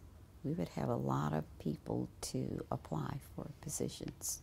and generally speaking did the applicants have backgrounds and training uh, that were suitable to the job or did you have a few people at the top and the rest were just not suitable Well, we had people who maybe were not in the uh, business area who would apply, but um, to me, it was easy to learn the jobs. Well, I'm assuming that if you advertised a job and let's say 25 to 30 people applied for the job, is that reasonable? Sometimes you had 25 or 30 people? Maybe. Okay. hmm I'm assuming that there was some screening going on. That is, you could look at three or four resumes and tell immediately that those were not people you'd want to hire. What were the considerations that constituted that benchmark below which you just simply wouldn't hire? Was it high school diploma, college degree? Uh, what was it? Well, as far as that was, the clerk would, if any of those were taken off for any reason, the clerk would do that. I see. Okay. So you were not able to discern any pattern that constituted a cutoff below which a person would not be considered for the position. Well, they had to be high school graduates. Okay. I do know that. Okay. And um, if they had had some type of clerical work, it certainly helped. Why were positions with the clerk's office appealing? Because of the money. The salary. Yeah. Did benefits have anything to do with it? Oh, definitely. How so? Well, um, insurance was paid. Um, you accumulated leave. Mm-hmm. Um, so I think those were some- Retirement? retirement. Was retirement available from the very beginning of your tenure? Yes. Were those things very important to you? They were. Okay. Uh, your husband at one point was an entrepreneur, so did you carry him on your insurance? I did. Okay. Now, in addition to the marriage and the child and AKA and the Catholic Church, There's one other thing we haven't talked about that's central to the identi- identity of Marie Thurman. Can you guess what that is? No. Bridge. Oh, I did play bridge. You played a lot of bridge. I did. How did that happen? Bridge was not the card game of choice at HBCUs in the 1960s, as I recall. It was bid whist. That's true. Um, Dr. Ralph Bryson uh, was an avid bridge player and was very good. Who is Dr. Bryson? Ralph Bryson, professor at ASU for many, many years. Um, and actually, one of my church members, Leonard Burke, played bridge with them. And he asked me about playing. And because a group, they used to get together and learn how to play, people who didn't know how. And I was interested in learning. And so I did learn how. And we played together um, once a week in the city. And then we traveled all over. All once over. All over the United Like States and some abroad. Tell me about that travel. Where did you go? Oh, we would go to Georgia, to Texas, to, I mean, just all over the U.S. Where'd you go abroad? Florida. Pardon Where did you go abroad? We went to the Bahamas. Um, and um, so it was it was a lot of fun playing bridge. Did you take annual leave to go play bridge? Well, the tournaments were mostly on the weekends. I see. So no, I didn't. I didn't take off to play bridge. Were you good? Um, I was pretty good. When did you stop? I stopped because um, one of my sisters took ill, Mm-hmm. and um, I brought her from New York to live with me, and so she took up a lot of my time. I could not travel and do and and bridge. You have partners, and and so I didn't, you know, want to st- stop my partner from from playing. What So- was it about the game that intrigued you? Um, it was um, just trying to master certain plays. Um,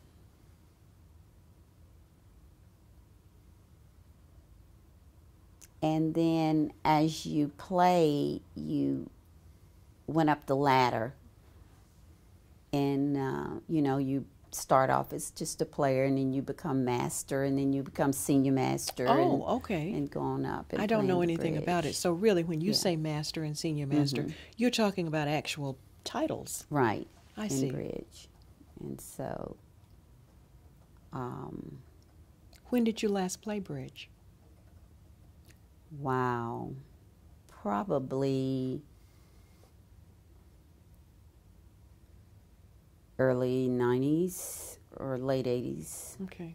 to stop Do you miss it? You know, I really don't. After you not played something for a long while, and I often used to say I was going to start back playing. I used to say when I retired I was going to start back, and they, but I just never did. Okay. And they do have bridge clubs in Montgomery. And you haven't been asked? oh yes, I've been asked, but uh, I just Okay. haven't wanted to. So you've become a courtroom deputy to Judge Myron Thompson. Um, judge Thompson is now a senior judge on this court, Correct. and I believe when he became a judge in 1980, he was 33, and at one time was the youngest federal judge in America. What was your response to an African American judge joining this court? I was elated. You know, I was happy, and um, I knew he would do a good job. Did you have a, a special pride? Oh yeah, Okay.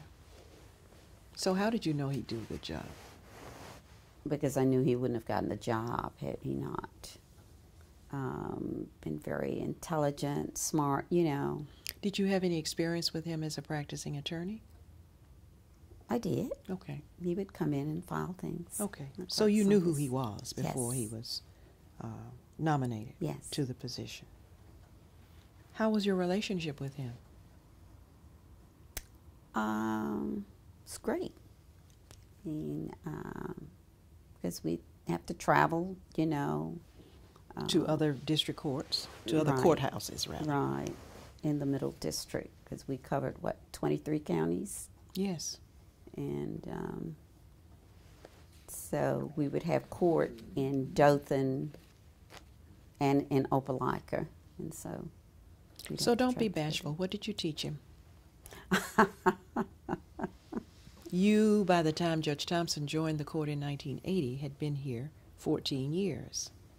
You knew things, procedures, places, people, bars, namely the, the, the professional legal bar. You knew the bar. You knew the lawyers. By that time, you may even have known jurors. So, what did you teach him? Well, I mean, with him being an attorney, he knew a lot of the same people. When I came to this Um, court, you taught me several things. So I know you taught Judge Thompson some things. So what did you teach Judge Thompson?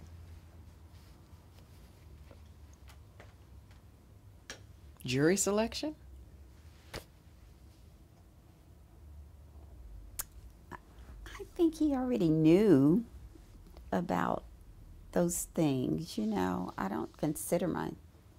I don't. You're being awfully modest. Um, What did you help him understand? Well, actually, the courtroom procedures, as far as when you go in and what's done, uh, and, and maybe how some things are done, but And I assume he was a willing student. he was. Why did you seek the position of deputy, uh, chief deputy clerk? You know, I used to say that I would never apply to become chief deputy. So that's why you never should say never, because when it became available, I did apply. And it was more or less, um, I felt like I knew the position. I'd worked here for so many years, and um, the pay was more and I went for it. Were you still learning? To me, I was always learning in Okay. the clerk's office. Okay. You know, To whom did you apply things. for the position? Uh, the clerk. Who was at the time? Um,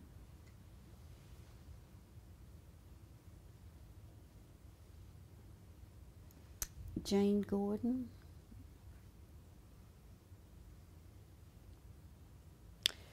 Did you compete with any colleagues for the position? Yes. Did you compete with outsiders for the position? Yes.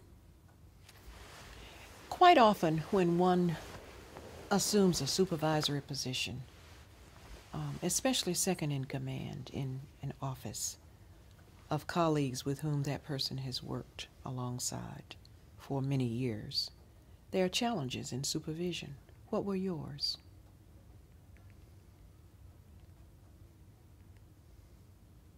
Mostly um, getting the clerks to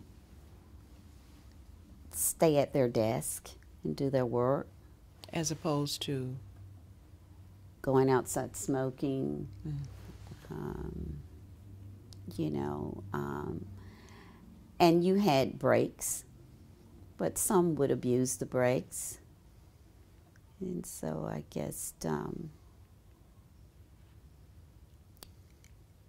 and then if things were not, if you were working on something and didn't finish it, you know, getting someone to stay a little while after work without being angry, you know, just wanting to stay and help. Mm-hmm. Mm-hmm.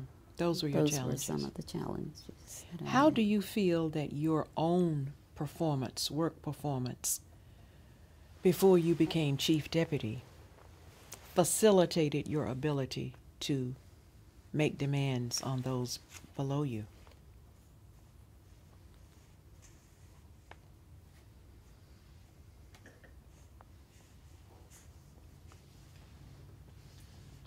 A very polite way of asking, did anyone ever throw up in your face after you became chief deputy clerk that you used to do the same thing? No. Okay. So, do you think that your own exemplary performance helped you become an effective supervisor? I think so. Okay. Now, another quite often, quite often, um, though you were the second woman, um, women incur some challenges supervising men. Were there any? There were. Tell me about them. The, the nature of the challenge, that is. Um, I think it was mostly that they just didn't want a woman telling them what to do or how to do it. Mm-hmm. Um,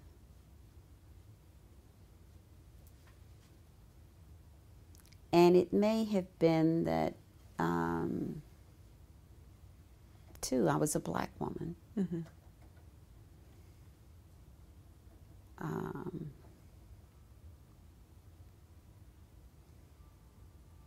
but that's. How did you overcome that, those challenges?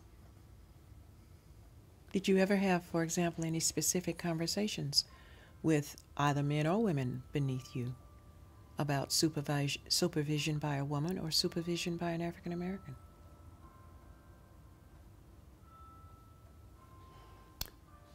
Well, I wouldn't say that I had any conversations with them, but um, you know, you would hear from other people in the office Mhm. that it had been talked about. Mm-hmm. Did you ever believe that people, that anyone in the clerk's office assumed that your promotion to chief deputy clerk was an affirmative action promotion? No, Okay. I earned that. Blood, sweat, and tears. Yes. What was the work life like in the clerk's office? Uh, there were times when I would go to the clerk's office and people would have radios on. Um, what? So, what was the work life like in the clerk's office? What was absolutely forbidden other than smoking? And I assume that there was a time when that wasn't forbidden. Um, eating at your desk. Hmm. That rule was broken a lot. Yes. Um,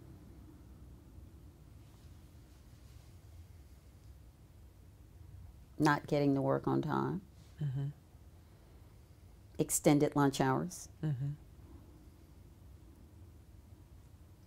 Things like that. Would it be fair to say that as deputy, that as chief deputy clerk, you were essentially the personnel manager for the office? Yes. How did you enforce decorum? You couldn't take anyone's pay away. This is the government. No. So, how did you enforce decorum? Um, you would just call them to your office and talk, have a talk with them. Okay. Did your observation of um, noncompliance with expectations affect your evaluation of employees It did. and your recommendations for promotion? Did it affect that as well? Um,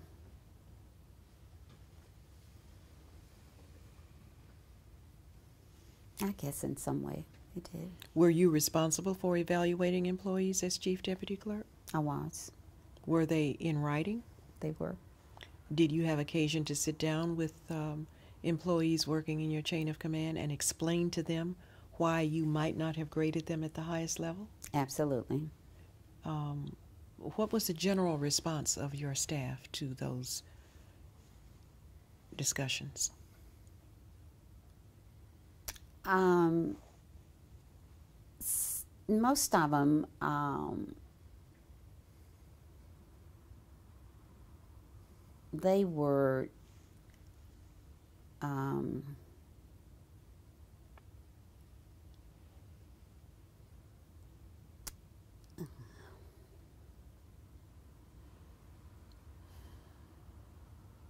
they were okay with it because uh, and you had a few who were not.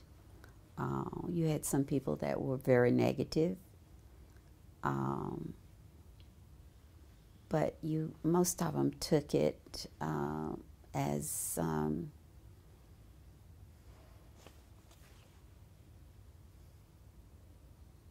not as critis- criticisms, but you know, I guess helpful hints.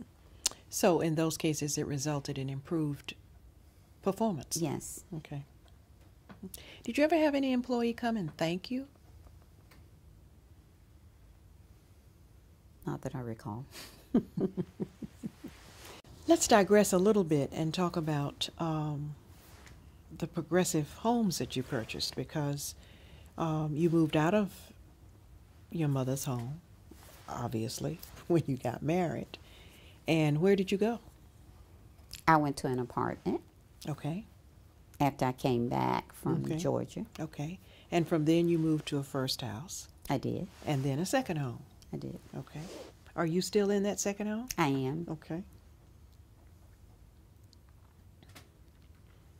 Did you have an opportunity to do much traveling while you were in the clerk's office, other than for bridge? Not a whole lot other than visiting family. Okay. You know. Now let's talk a little bit about a subject that I apologize in advance for bringing up, but it's part of your life, and that's your care for Florence. How long did that last? Florence was your older sister, the AKA whom you revered, your soulmate, Yes. and a person to whom you devoted countless time and effort to keep alive. I did. Um, she was living in New York, and um, she had multiple myeloma. And I think the doctors had sort of given her up up there in New York. And um, I asked her to move to Montgomery and let me find a doctor for her and help her and uh, she did. And um, of course, before she moved here, she had had quite a bit of chemo and radiation. But the cancer doctor here said that if she had a bone marrow transplant, it would certainly help her to live a little longer. And so she did that. Um, You did that, I was actually her donor, yes. And we went to Arkansas and had the transplant done. And, Did she have a family at the time? She did. She's, you know, she had two children. Yes. And Of course, she was divorced at that time. Where were her two children when she came to live with you? Um, her son was in New York, and her daughter was um, in school at Spelman Spelman College in Atlanta. in Atlanta. Did you have to match to become a donor? Yes. Okay. And of course, um, other siblings were tested, but I was the only one that matched her. Fortuitous for her. Yes. What was that procedure like? It was very painful, the test was, because they don't give you anything to test you. And of course, they, you know, the needle goes in your bone to draw the marrow.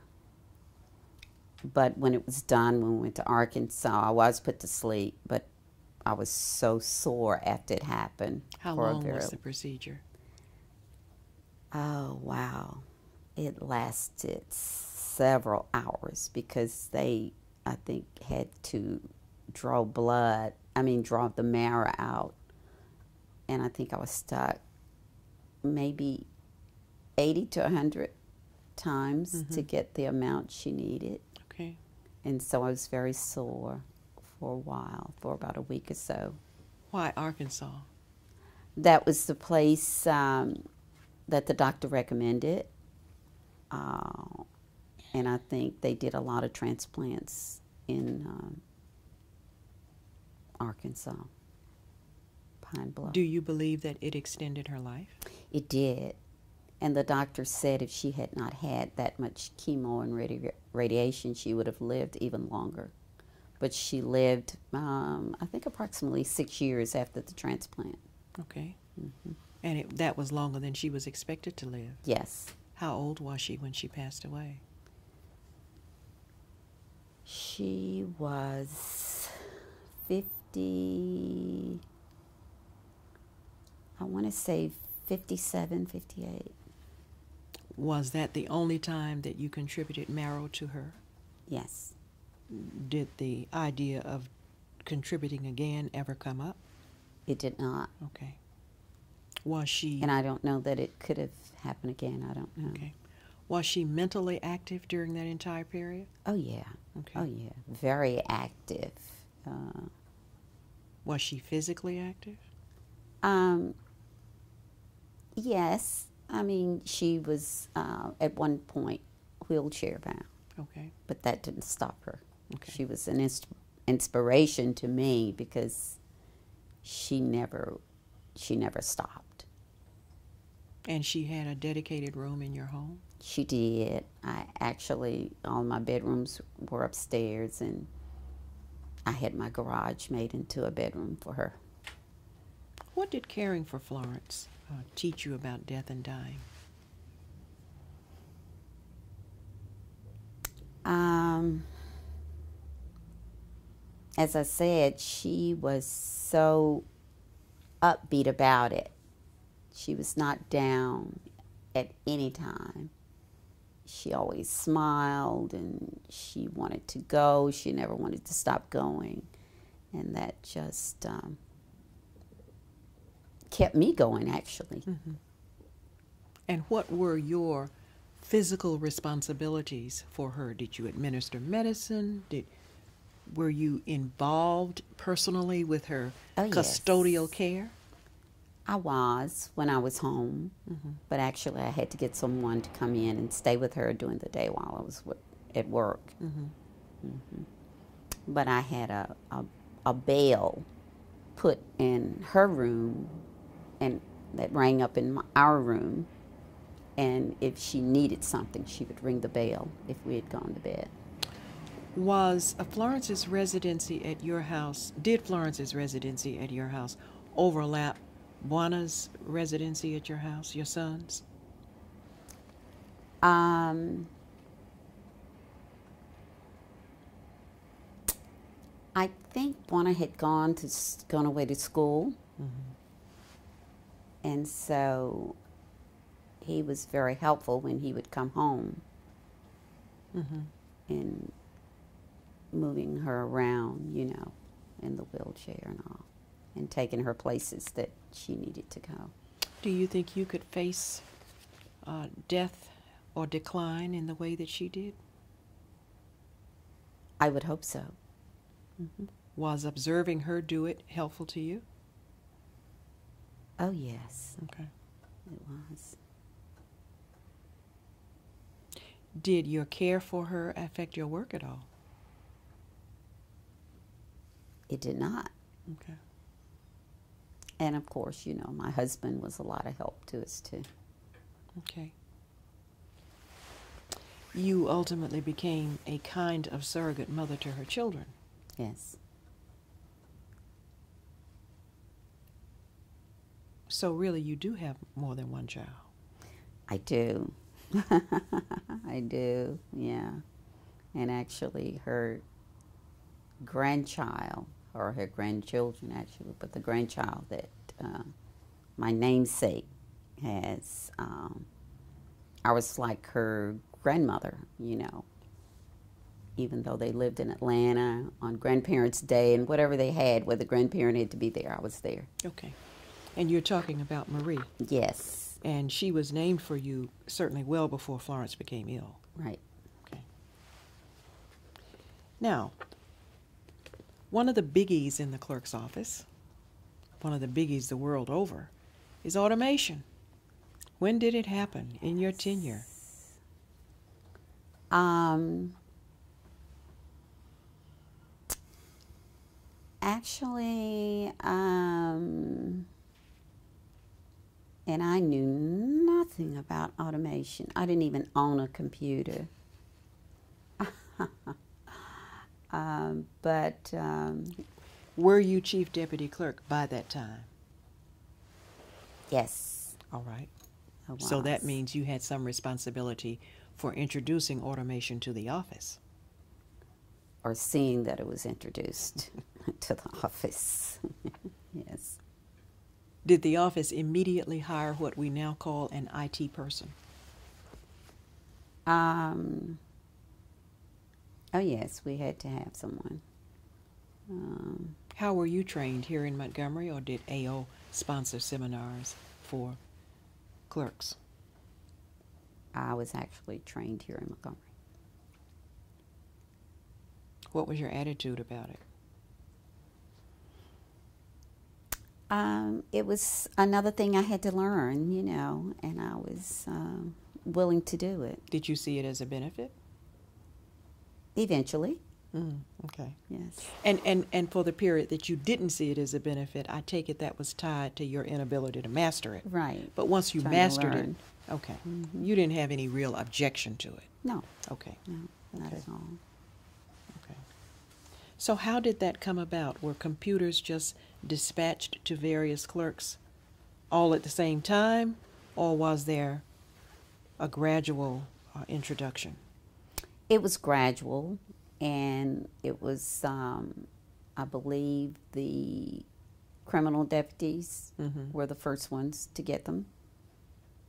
Before then, what had been the storage arrangement for files?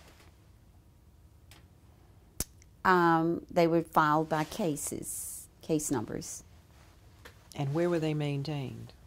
in the clerk's office. And in if the I back, can't- in the back. in the back.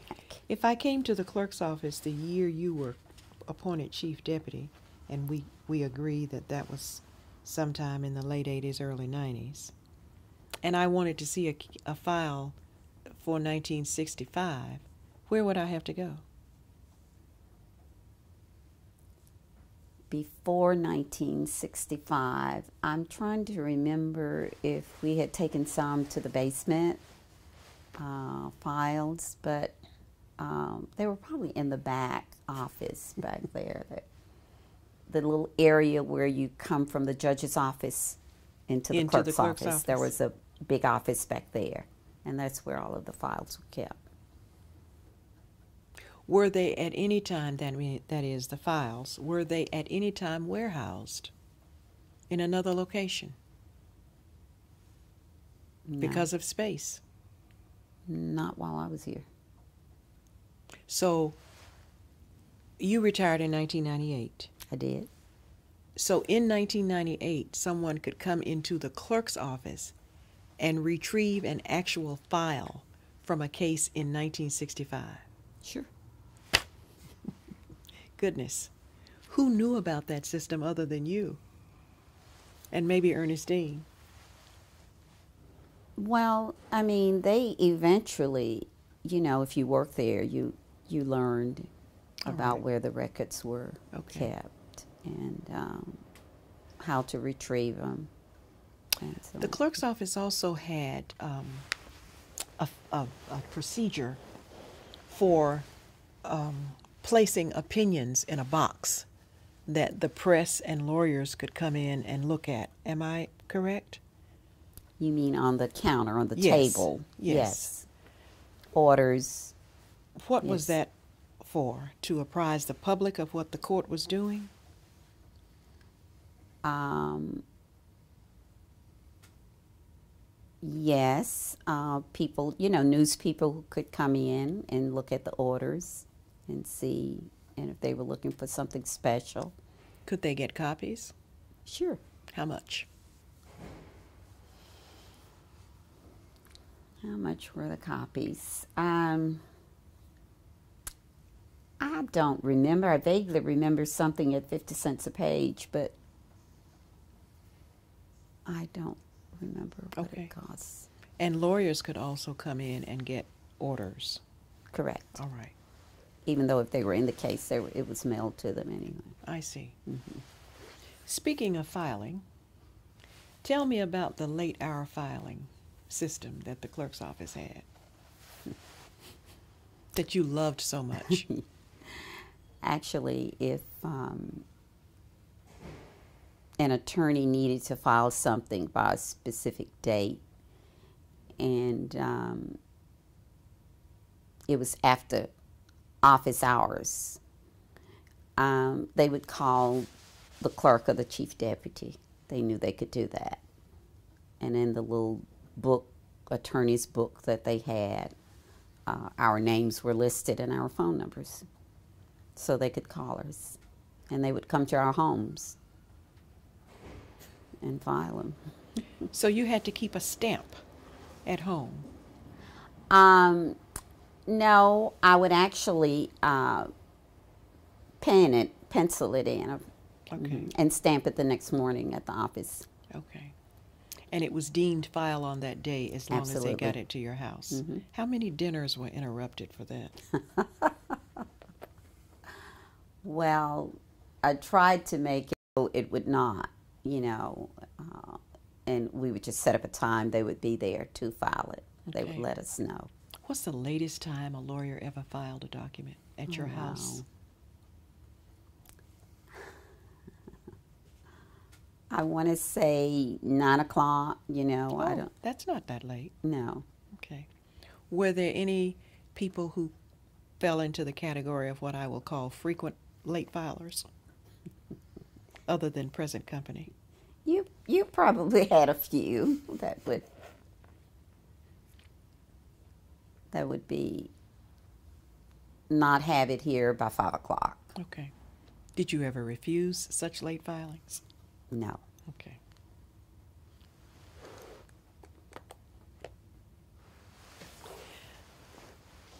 How would you say the clerk's office itself, if there was a response, adjusted to the growing number of female attorneys?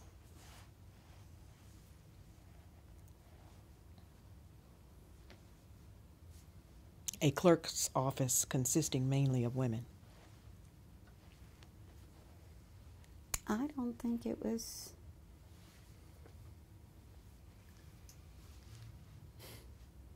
Remarkable? It wasn't?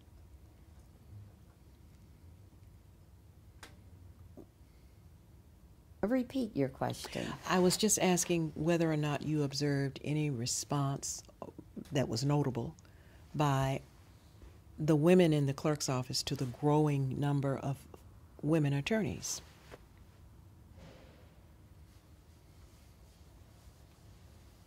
I don't think it was a problem. Okay.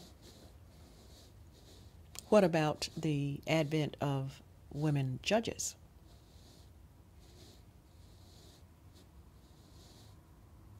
Wasn't a problem, not okay. to me. Well, I'm asking you about the office, not just you. I don't recall anything being said about it. Okay. All right. So you regard those two transitions as having been smoothly done? Yes. Okay. Okay. So when did you know that uh, it was time to retire?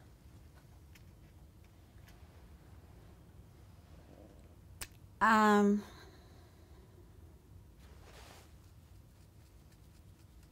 I just felt that No, I'm asking when. You left in 98. How long before 98 did you know that it was time to go? I know it was at least six months Okay. before. So close to retirement, not years. Oh no. Okay. And what was it that triggered that realization? Just, I think, um,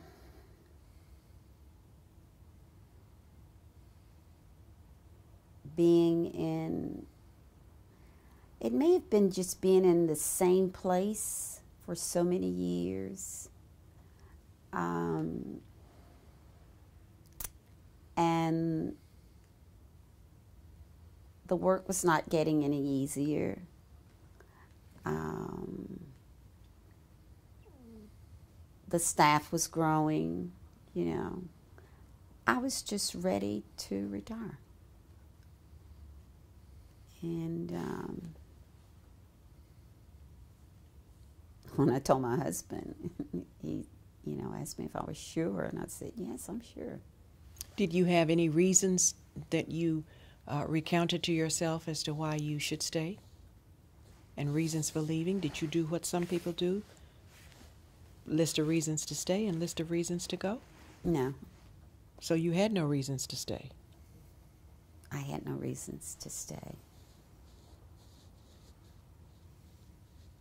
Did there ever come a time during your tenure when you stopped learning? When you felt that you were just simply not growing professionally anymore? It happens. Um, in my later years as chief, as chief deputy, uh, you know, I felt like even though I it was always something new happening, but nothing where you had to just learn new things, new procedures. Um, The court, the clerk's office was not paperless when you left. no, Was it on its way to becoming so? yes. Okay. How did you respond to that? I thought it was great. Okay. You did you enjoy becoming more tech savvy in your work? Not really. Really? What was the, what were the downsides in your view? Well, to this day, I'm not really that tech savvy. Well, I mean, i- as it Um, relates to the work of the clerk's office, what were, what were the downsides or disadvantages to what I will call comprehensive technology in operations? Email, for example. Just having to sit there and read to me. Um, I don't want I to sound. just prefer. I preferred the paper, but I had nothing against them changing.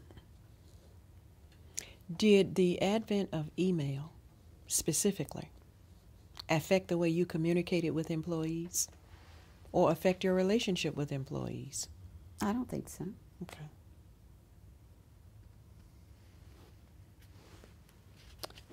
Were you um, embracing of or um,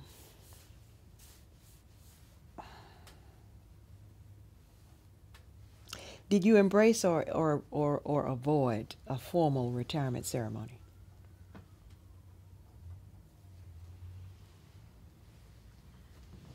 Since you'd been through so many for other employees. Um, In the end, I did embrace it. I didn't really have to have it. Hadn't you planned countless retirement ceremonies for other people? Yes, but it didn't. Um, when it comes to something like that, I'm a little low keyed on it.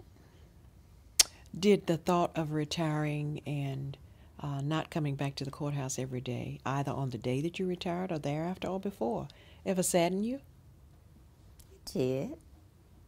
Because um, I knew I would miss the people. Okay. And it's the people you missed rather than the work. Yes. Did you ever miss the work? I don't recall missing it. Okay.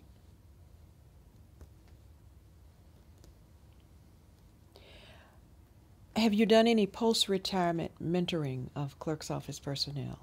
Not necessarily that you initiated, but that they may have initiated.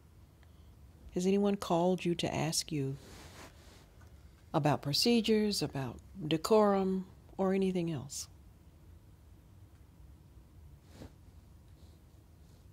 Or is there something somebody can't find in the clerk's office that they know you know the location of? It may have happened uh, a few times after I left. Okay. Right after I left, but uh, Okay. Have you been back to the office since you left? I have. Only when invited. I didn't just. You've never popped in. No. Have you willfully avoided that? No, I just um, didn't see a need to pop in. Okay. Have you kept up with your former colleagues? Some of them. Okay.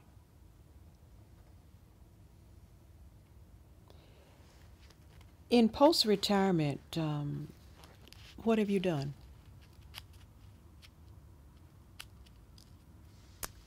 that you Um, weren't doing already? Well, I have um,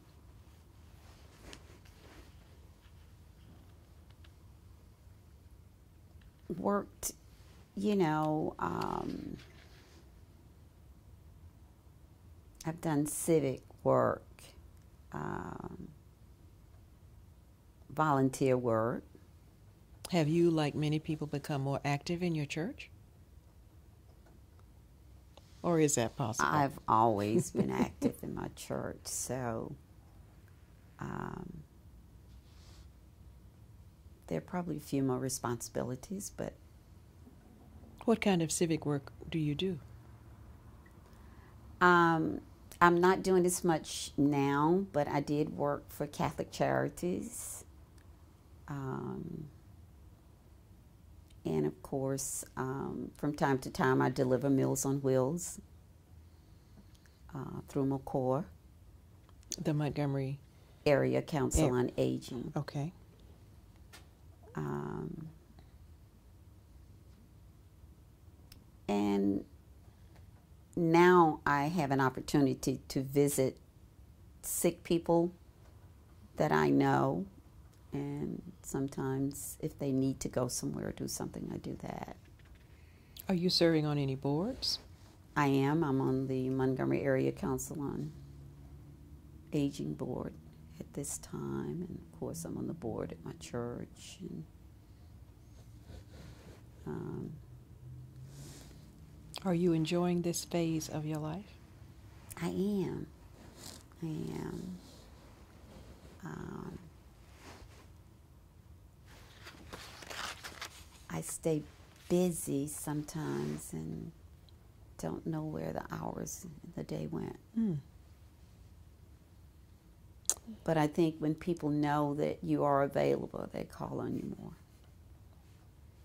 Let's spend just a little time on some reflections. What would you say is the most memorable case you were involved in as a clerk? And when I say memorable, I don't mean to the public or the press, but to you. What, what case or cases either influenced you, impressed you, intrigued you?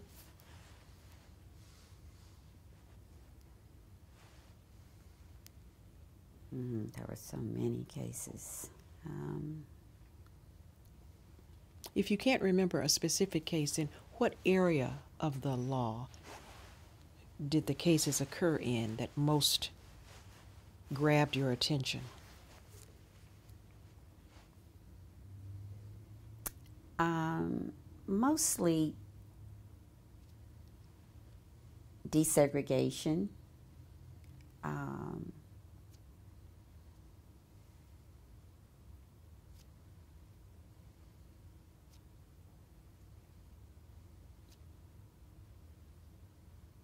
Of public facilities, of schools, of transportation, or just the broad subject of desegregation?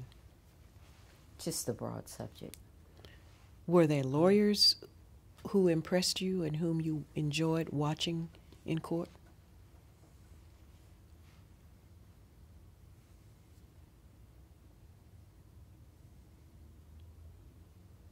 I'd say yes. There were. Why did it take so long to answer that? Because you have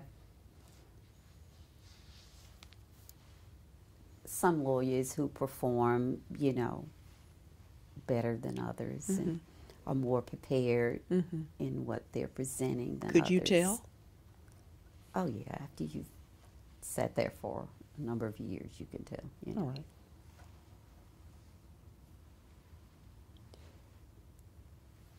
What was it about the clerk's office? What is it about the, the way the clerk's office was run when you left or when you retired that you were most proud of?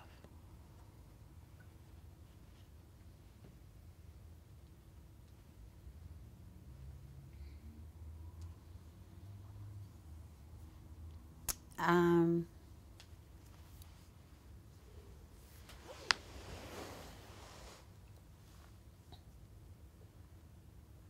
I guess I was most proud of the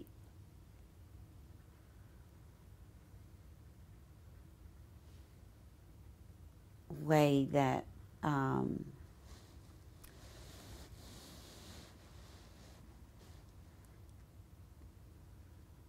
the responsibilities as far as you know when you had intake and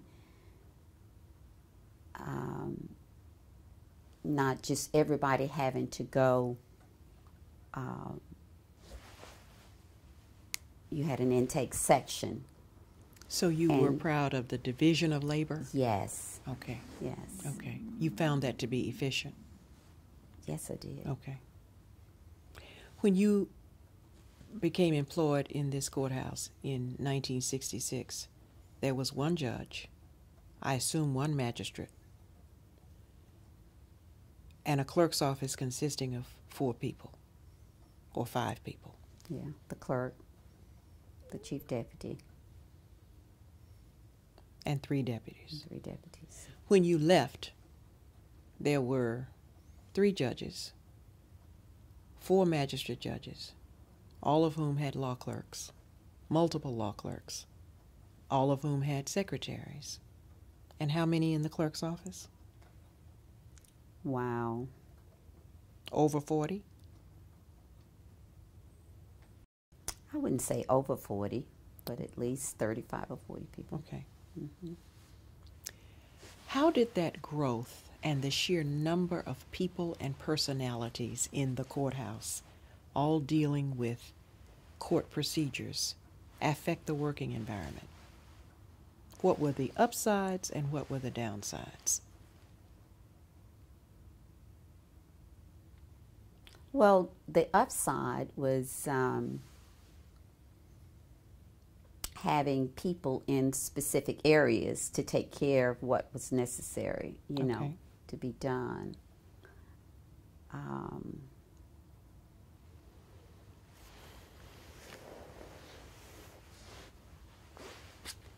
the downsides. Um,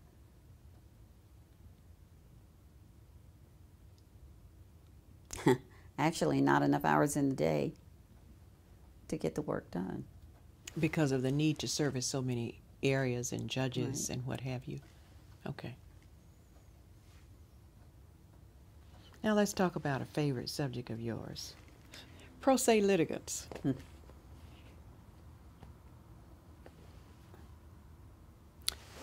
how did you draw the line between legitimate assistance to a pro se litigant, a pro se litigant being a person who comes in without an attorney, who will remain without an attorney for the duration of the case, who will represent himself or herself?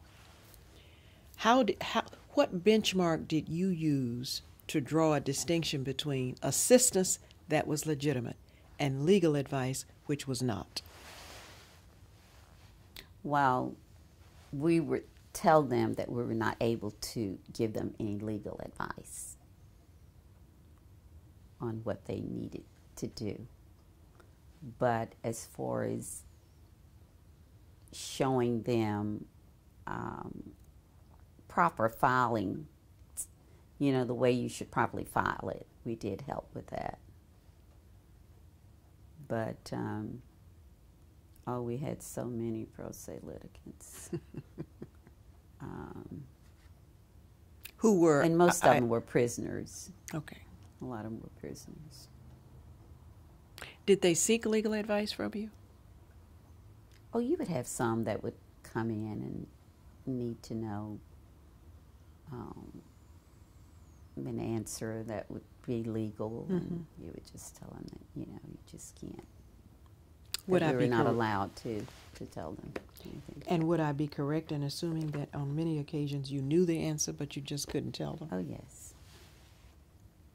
Were you ever, ever in the least bit tempted to go to law school?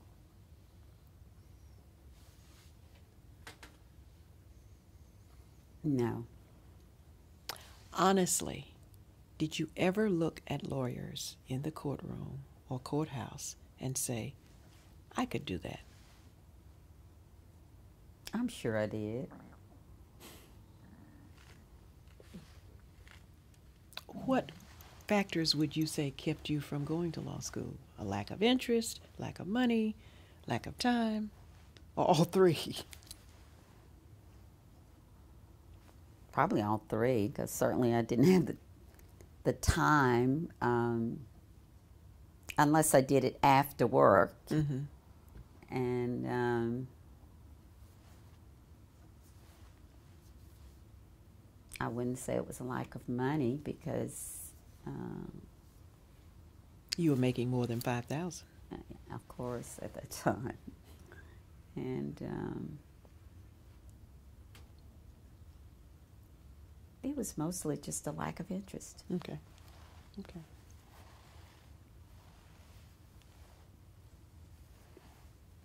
Did you anticipate with any positive feelings uh, the new courthouse? I know you never worked in it, but did you personally see a need for a new courthouse before you left? I did because um, we were growing so, Mm-hmm. and with judges having their own courtrooms certainly helped because it was like sometimes they may want to have a hearing, but they didn't have anywhere to have it. And whose So- job was it to coordinate courtroom use? We had that responsibility. We, as in Marie Thurman.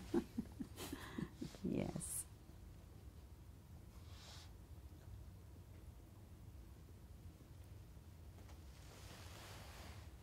How did working here affect your respect for the rule of law, or did it?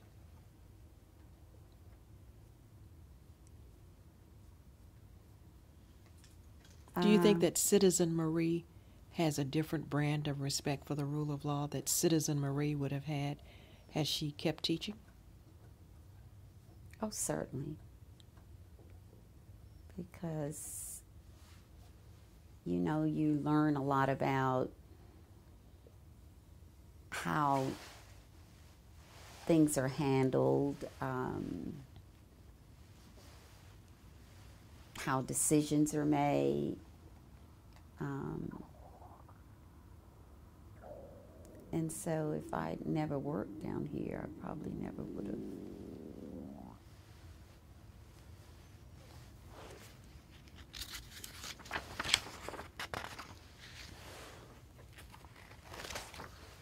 How would you characterize your career as a clerk of court? And I use that term generically. How would you characterize that career? Is it something you would recommend to others? And if so, why?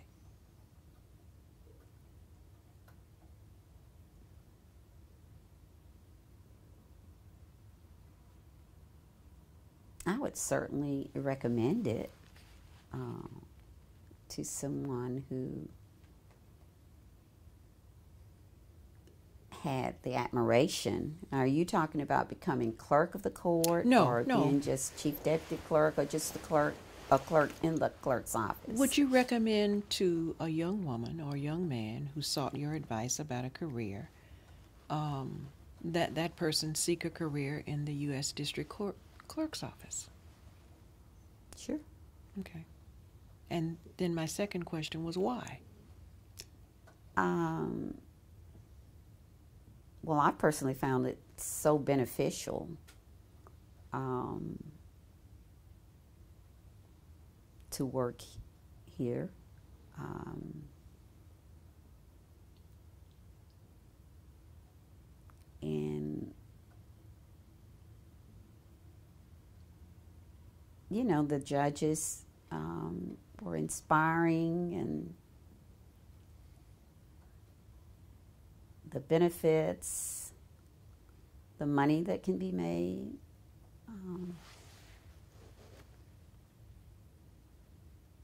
and then, you know, even though it didn't inspire me to want to maybe, maybe go to law school, it may do the same, do it for someone else. And you consider that a good thing? Yes. Okay. Do you have anything you wish to add No. after 32 years? Um,